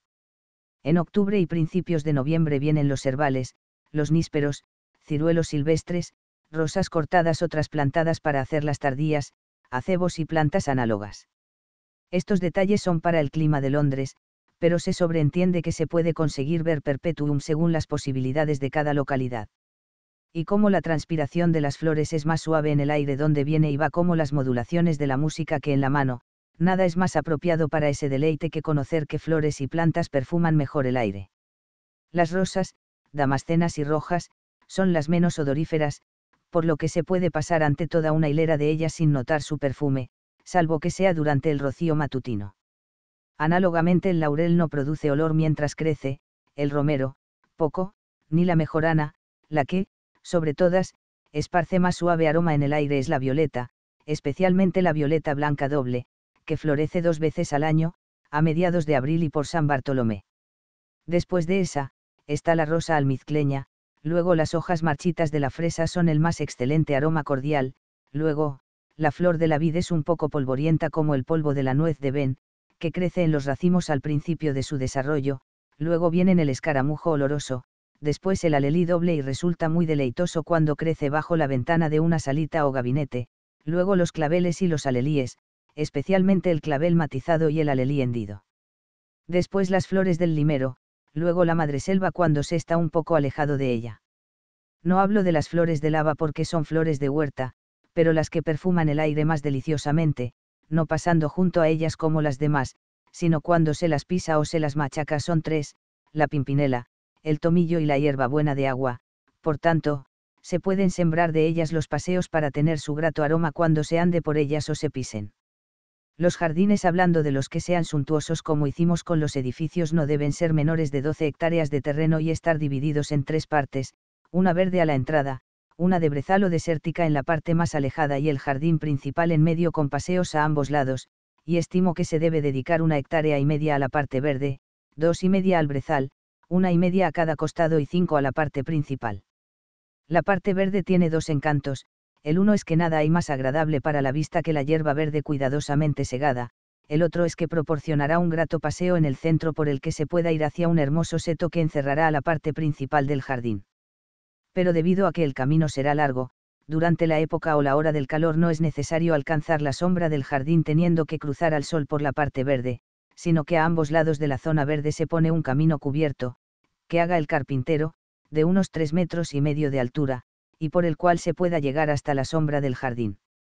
En cuanto a hacer dibujos enlazados o figuras con tierras de diversos colores que se sitúan bajo las ventanas de la casa que dan al jardín, no son más que niñerías, eso mismo se puede ver muchas veces en las tortas.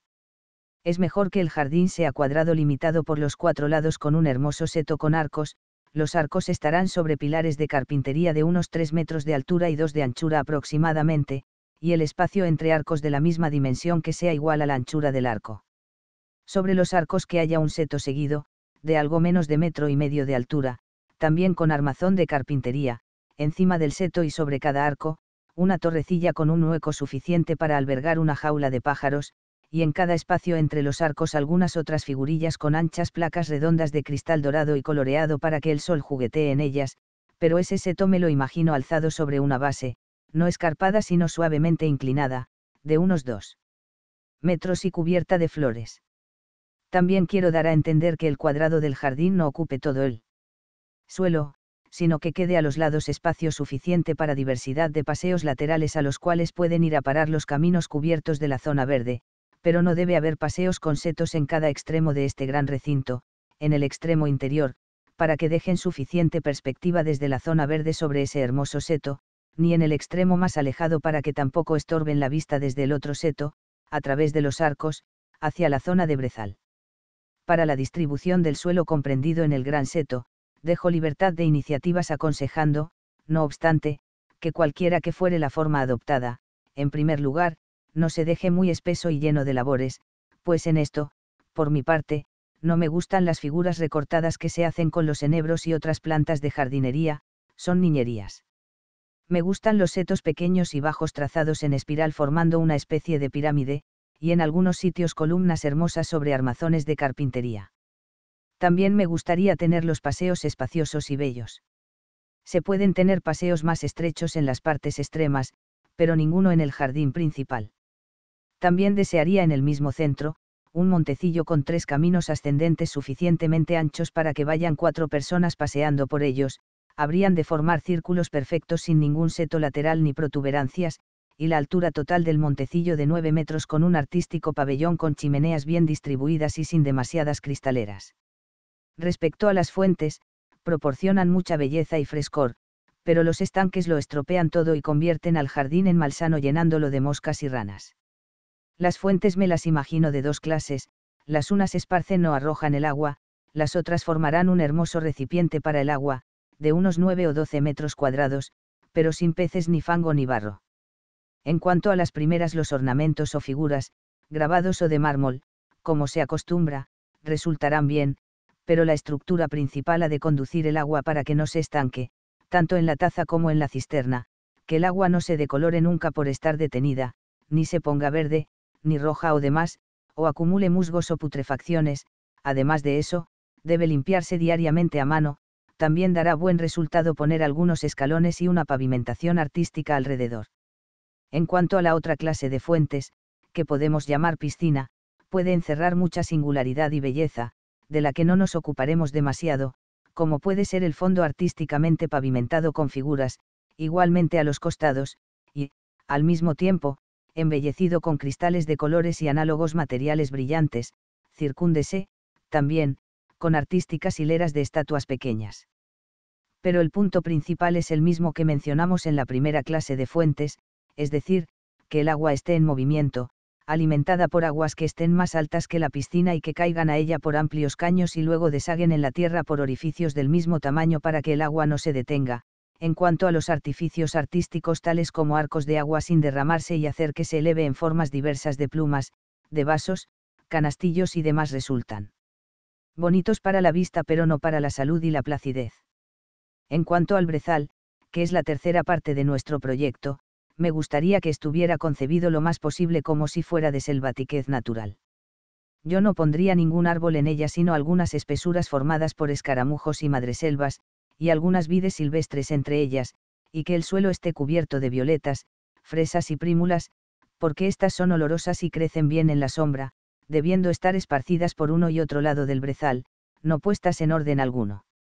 También me gusta que se pongan montoncillos, a modo de toperas como hay en los brezales auténticos, unos con tomillo, otros con claveles y otros con fernandinas porque son de gran belleza para la vista, algunos con clemátides, otros con fresas, otros con prímulas, otros con margaritas, otros con rosas rojas, otros con lirios del valle, otros con claveles barbados rojos, otros con el éboro y demás flores pequeñas, aunque, por otra parte, aromáticas y vistosas, parte de esos montoncillos.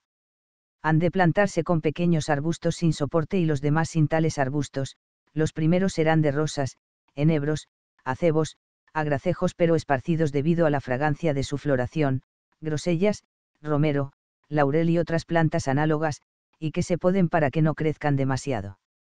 En cuanto al terreno de los costados, debe llenarse de caminos cubiertos para que proporcionen sombra en todo el sitio donde dé el sol. Algunos deben disponerse a modo de resguardos para que, cuando sople el viento cortante, se pueda ir por ellos como por una galería, estos caminos tendrán setos a ambos extremos para impedir el paso del viento y estos caminos cerrados deben estar bien pavimentados y sin hierba para que no tengan humedad. Asimismo, en muchos de ellos deben ponerse árboles frutales de todo tipo, así como en los muros, disponiéndolos en hileras, debe también observarse, en general, que los bordes donde se planten los frutales sean hermosos y grandes, bajos, pero no inclinados, plántense flores bonitas pero esparcidas para que no desnutran a los árboles. A los extremos del terreno, yo pondría un montecillo de suficiente altura, sobrepasando los muros, para contemplar la extensión de los campos. En cuanto al jardín principal, no niego que pueda tener algunos caminos amplios situados a ambos lados con árboles frutales, y algunos grupos de frutales y árboles con asientos puestos en buen orden, pero en modo alguno demasiado espesos para que el jardín privado no quede muy cerrado sino al aire despejado y libre. En cuanto a la sombra, deberá depender de los caminos laterales donde se podrá pasear si se desea durante las horas de calor del día o del año, pero teniendo en cuenta que el jardín principal es para las épocas más templadas del año, y en el calor del verano, para las mañanas, las tardes y los días frescos. En cuanto a las pajareras, no me gustan, salvo que sean tan grandes que puedan tener césped y plantas y arbustos dentro de ellas, que los pájaros puedan tener mayor amplitud y sitio natural para anidar y que no se vea suciedad en el suelo de la pajarera. De ese modo he hecho mi proyecto de jardín suntuoso, parte por normas, parte con diseño, no es un modelo sino las líneas generales de él, y no he reparado en su costo. Pero nada es para los grandes príncipes, que en su mayoría se aconsejan de los trabajadores, arreglar sus casas con menor gasto y, algunas veces, agregando estatuas y cosas semejantes para el embellecimiento y magnificencia, pero que nada significan para el verdadero placer de un jardín. De la negociación. Generalmente, es mejor tratar las cosas de palabra que por carta, y por mediación de un tercero que por uno mismo. Las cartas van bien cuando también han de responder por carta o cuando pueden servir de justificación después de haber escrito otra o cuando hay peligro de ser interrumpido o escuchado parcialmente. Es mejor tratar el asunto personalmente, cuando el rostro de la persona inspira respeto como sucede por lo común ante los inferiores, o en los casos delicados, cuando los ojos puestos en la persona con quien habla pueden orientarle hasta dónde ha de llegar, y, en general, cuando la persona quiere contener su libertad tanto en denegar como en exponer el asunto. Al elegir los intermediarios, es mejor escoger hombres sencillos que son más apropiados para hacer lo que se les encomienda e informar después sobre lo ocurrido con entera sinceridad, que no los que son hábiles para maquinar el modo de sacar provecho propio en los asuntos de los demás, y que adornarán el informe que den después, solo para su propia satisfacción. Utilícense tales personas en asuntos relacionados con su empleo porque son aptas para esa cuestión como los osados para la investigación y la observación, los tercos y obtusos para los asuntos que no resultan muy llevaderos. Utilícese también a los que han tenido suerte y han predominado anteriormente en menesteres en los que se les ha empleado antes, pues eso fomenta la confianza y se esforzarán por mantener su cometido. Es mejor tantear de antemano la persona con la que se trata, que ir al grano de primera intención salvo que se la quiera sorprender con alguna pregunta breve. Es mejor tratar con hombres con aspiraciones que con aquellos que están ya donde debieran. Si alguien trata con otro acerca de determinadas condiciones, el comienzo de la primera entrevista es el todo, lo que nadie puede pedir razonablemente, salvo que la naturaleza del asunto lo requiera debe anticiparse, o también una persona puede persuadir a otra de que aún la necesitará para otra cosa, o también que se le tendrá como al más honrado de los hombres. Toda la labor consiste en descubrir y manejar a la persona. Los hombres se descubren a sí mismos en la confianza, en la pasión, en los descuidos, y, necesariamente, cuando han hecho algo y no encuentran pretexto adecuado. Si se quiere manejar a una persona hay que conocer a la vez su carácter y su calidad y dirigirla en consecuencia, o sus fines, y persuadirla con arreglo a ellos, o sus debilidades e inconvenientes y amedrentarla, o los que tienen interés por ella, y dirigirla con arreglo a eso.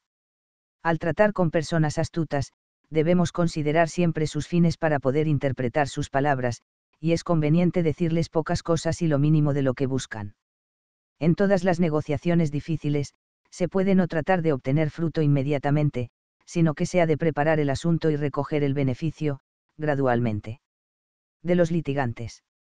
Muchos asuntos y proyectos malos pasan a manos de los intermediarios, y los litigios privados corrompen el bien público muchos asuntos buenos van a parar a espíritus malévolos, no quiero decir solo espíritus corruptos, sino habilidosos, que no procuran su ejecución. Muchos se encargan de litigios de los que nunca se ocuparán eficazmente, pero si ven que puede haber provecho en el asunto, buscarán algún medio para que se les quede agradecido su obtener una recompensa inferior o, por lo menos, aprovecharse mientras tanto de las esperanzas del litigante. Algunos se encargan de pleitos solo como oportunidad de frustrar a otros, o de hacer una información para la cual no podrían tener pretexto adecuado, sin preocuparse de lo que sea del litigio cuando ellos hayan averiguado lo que les interesa, o, por lo general, para realizar una especie de intromisión en los asuntos de otro en provecho propio, es más, algunos se encargan de pleitos con el total designio de hacerlos fracasar, y que la parte contraria u oponentes les recompensen. Con seguridad que, en cierto modo, hay un derecho en todo litigio, tanto un derecho de equidad, si es un litigio de controversia, como un derecho de mérito, si es un pleito de petición. Si el afecto lleva a un hombre a favorecer la parte equivocada en la justicia, que más bien utilice su patrocinio en llegar a una composición del asunto que en llevarlo adelante. Si el afecto le lleva a favorecer al que menos mérito tiene, que lo haga sin humillar ni incapacitar al que tiene más mérito. Los pleitos que no se comprenden bien es conveniente confiarlos a algunos amigos de confianza y buen juicio que puedan advertir si se pueden llevar adelante con honor, pero que elija bien sus asesores porque, si no, pueden jugar con él a su gusto. Los litigantes se sienten tan disgustados con las dilaciones y los engaños que es conveniente decirles clara y sencillamente, al principio, si se renuncia a encargarse del pleito, o informarle del éxito escuetamente y no exigir más recompensa que la que se merece, eso es no solo más honroso sino más benévolo. En las solicitudes de favor, la primera visita debe tener poco efecto, hasta tanto se haya apreciado la confianza que merece, y si el solicitante no ha comprendido el asunto, no se saque provecho de la información sino dejar que la parte oponente utilice sus medios y, en cierto modo, sea recompensada por su descubrimiento. Ignorar el valor de un pleito es necedad, así como ignorar al derecho que le asiste es falta de conciencia. El secreto en los pleitos es un gran medio para ganarlos, porque el vocearlos de antemano puede desalentar a cierto tipo de litigantes, pero puede acelerar y espabilar a otros. Pero lo principal en los pleitos es la oportunidad, quiero decir oportunidad no solo respecto a la persona que ha de autorizarlo, sino respecto a quienes puedan frustrarlo. Que, al elegir los medios, más bien se escojan los más aptos que los más grandes, y de entre esos, mejor los especializados que los generales. La reparación de una negativa es, a veces, igual a la primera concesión si una persona no se muestra ni abatida ni descontenta. Inicuum. Pitas, utaecum feras, es una buena norma cuando se tiene la fuerza del favor, pero, de otro modo, un hombre podría elevarse más en su pleito, porque quien se haya aventurado al principio a perder al litigante, no querrá, al final, perder a la vez al litigante y su primitivo favor.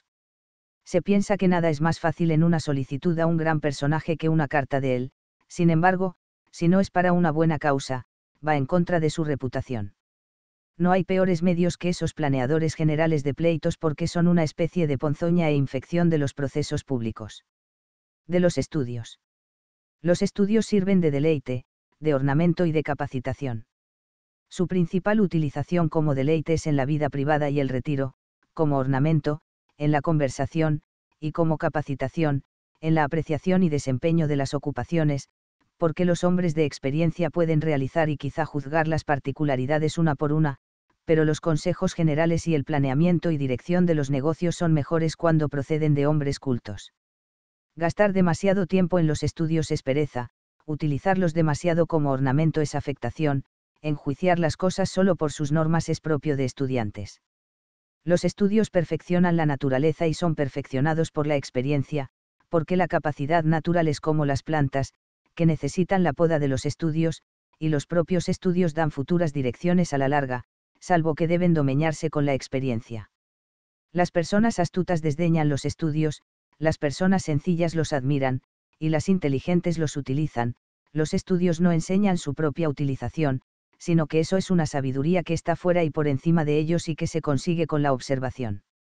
Léase no para contradecir o impugnar ni para creer y dar por admitido, ni para encontrar tema de charla y conversación, sino para sopesar y considerar.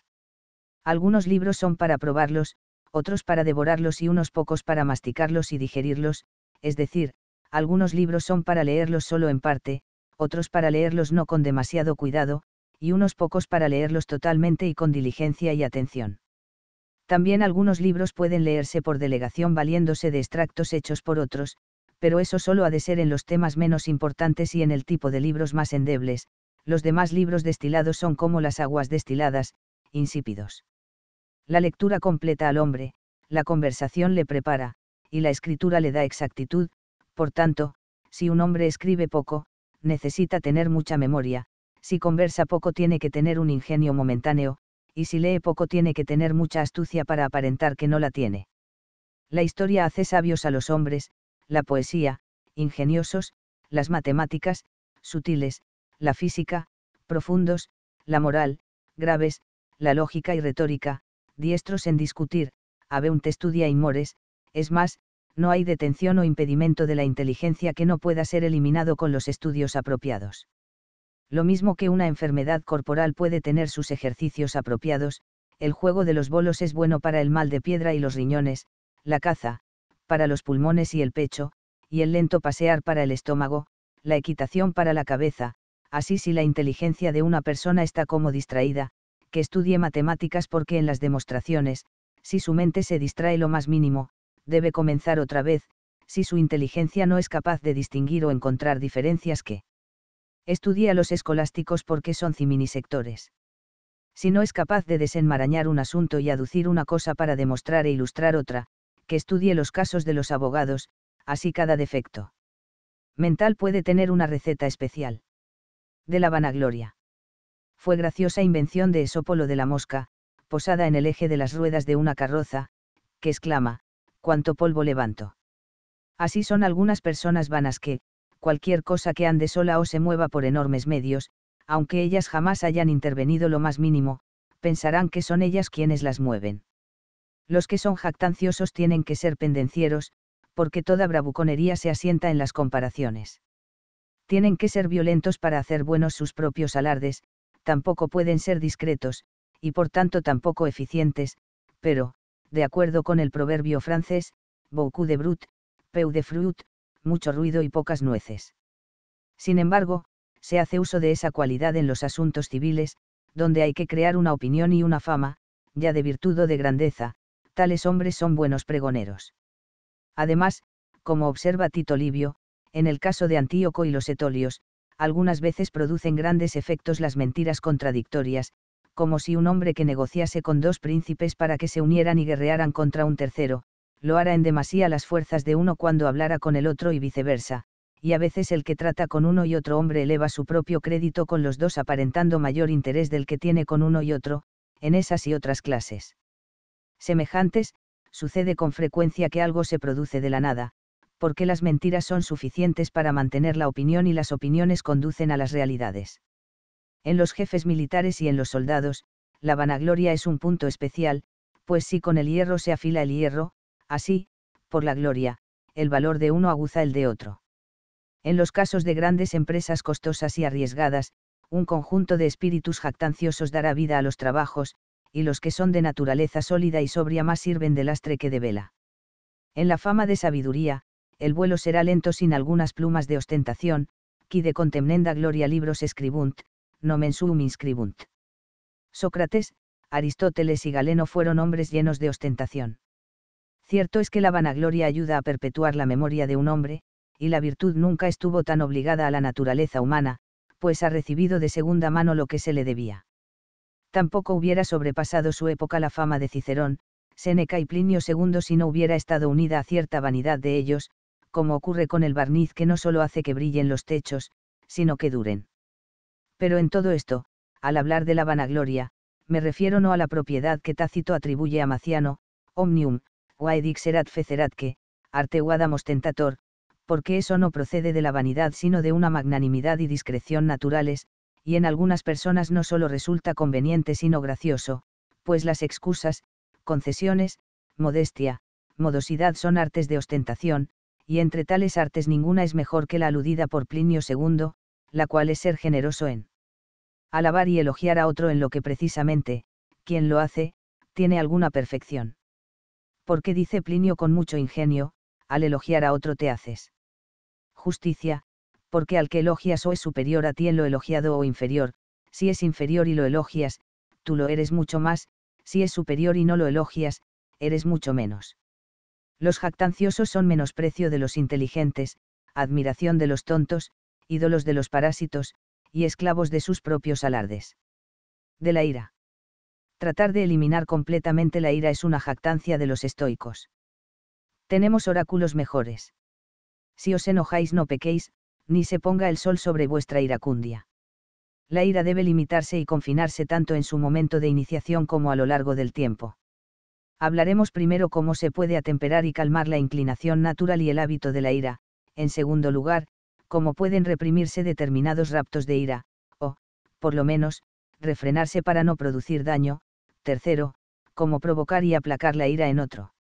En cuanto a lo primero, no hay otro camino que meditar y recapacitar sobre los efectos de la ira y cómo alteran la vida del hombre, el mejor momento para hacer eso es cuando el acceso de ira ya ha pasado completamente.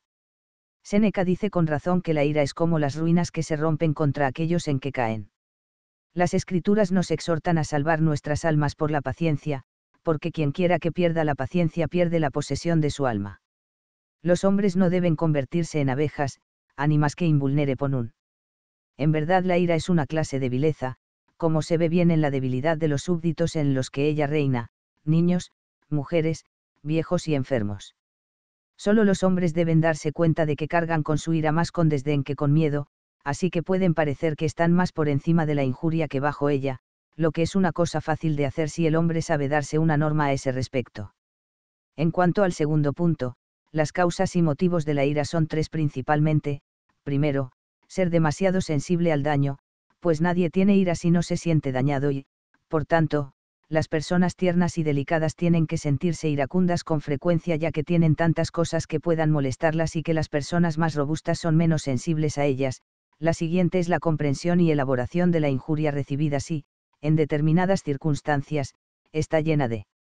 desprecio, porque el desprecio es lo que pone a punto de estallar la ira, tanto o más que la ofensa en sí, y por tanto, cuando las personas son ingeniosas, desechan las circunstancias de desprecio y suavizan mucho su ira. Por último, el criterio de que se toca a la reputación de una persona hace que su ira se multiplique y agudice, el remedio para eso es que la persona tuviera lo que decía Gonzalvo.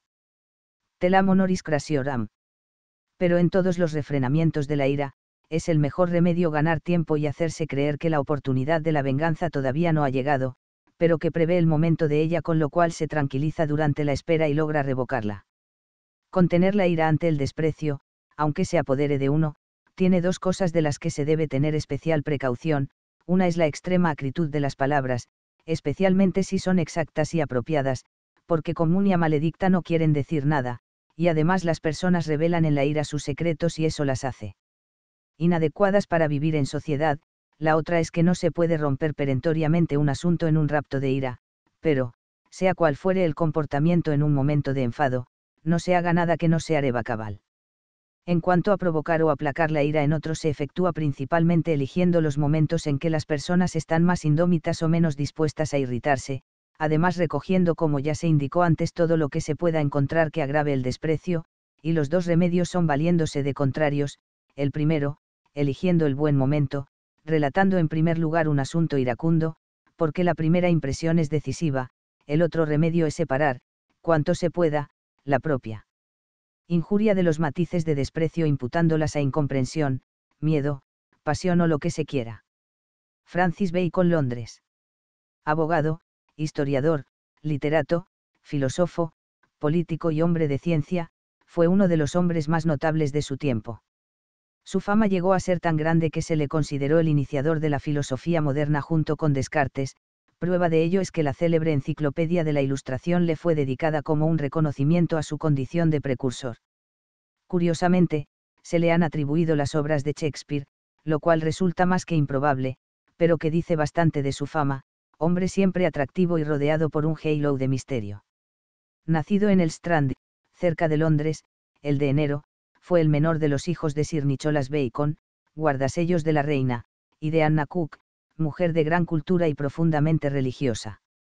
Asistió al Trinity College durante un par de años y luego su padre lo envió a Francia, donde estuvo bajo la protección de Sir Amias Paulet, embajador inglés en aquel país. De regreso a Inglaterra, ingresó en la Escuela de Jurisprudencia Grayson, recibiéndose de abogado.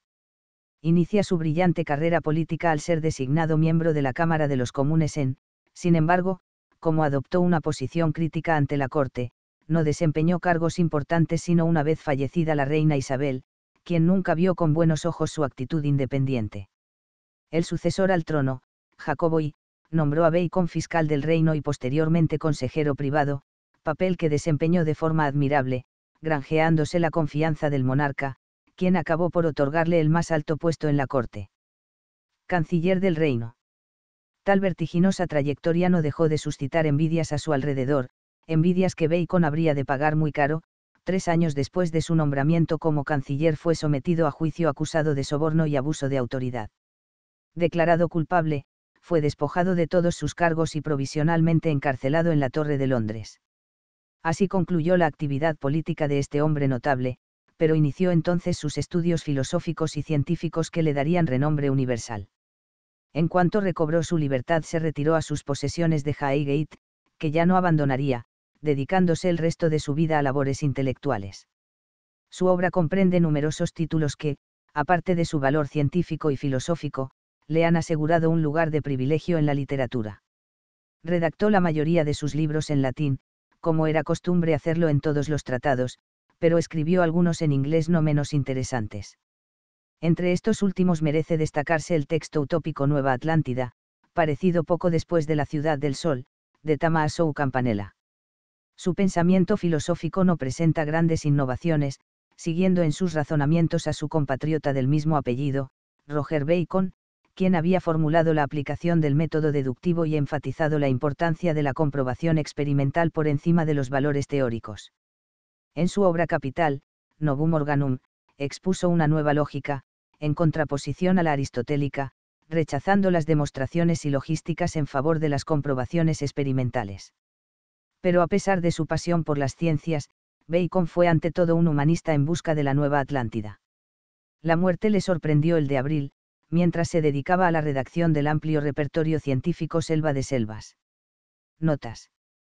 Elige lo mejor, la costumbre lo hará suave y fácil. Prefirió su anciana Penélope a la inmortalidad. No hay nadie curioso que no sea también malévolo Plauto. ¿Cuánto sufrimos? Para la envidia no hay días festivos. Somos el uno para el otro un teatro suficientemente grande Seneca. Cuando ya no seas el que eras, no hay razón para que desees vivir Cicerón. Grave cosa es morir siendo muy conocido por todos y desconocido para sí Seneca. Y vio Dios, al contemplar la obra hecha por sus manos, que todo era bueno Génesis, y al que todos considerarían capaz de gobernar, aunque no hubiera gobernado. Vespasiano fue el único que, siendo emperador, cambió para mejorar Tácito tan bueno que no vale para nada. La frase no es de Tácito sino de Salustio, los deseos de los príncipes son, por lo común, vehementes y contrarios entre sí guerra de yugurta. Recuerda que eres hombre. Recuerda que eres Dios o representante de Dios. Envía los desnudos entre extranjeros, y ya verás. A él no le queda otra esperanza sino, sencillamente, mirar la seguridad del emperador Tácito. Un hombre prudente mira dónde pisa, el necio cae en el cepo. Amantes de sí mismos, sin rival. La sospecha es la licencia de la fe. Muchacho, deja el látigo y mantén con fuerza las riendas Ovidio. Al procurar el acrecentamiento de sus bienes, se veía que no buscaba el provecho de la avaricia sino los medios de hacer el bien. Rey de las regiones infernales. Con el sudor de la frente de otro. El otoño de las personas hermosas es hermoso Plutarco. Primavera perpetua Virgilio. Pide lo injusto para conseguir lo justo Quintiliano. Los estudios influyen en las costumbres Ovidio. Literalmente, partidores de caminos. Cita incorrecta de un pasaje de Cicerón, quienes escriban libros sobre la inutilidad de la gloria, que se cuiden de poner su nombre en la portada. Por una especie de arte, convertía en ostentación cuanto decía y hacía. Que ponen la vida en el aguijón Virgilio. Gonzalo Fernández de Córdoba, el gran capitán. Un paño más grueso para el honor. Las injurias vulgares. Audiolibro cortesía de la comunidad de audiolectores Filosofía y Letras. Búscanos en el canal de YouTube El Mundo de Arturo Garcés.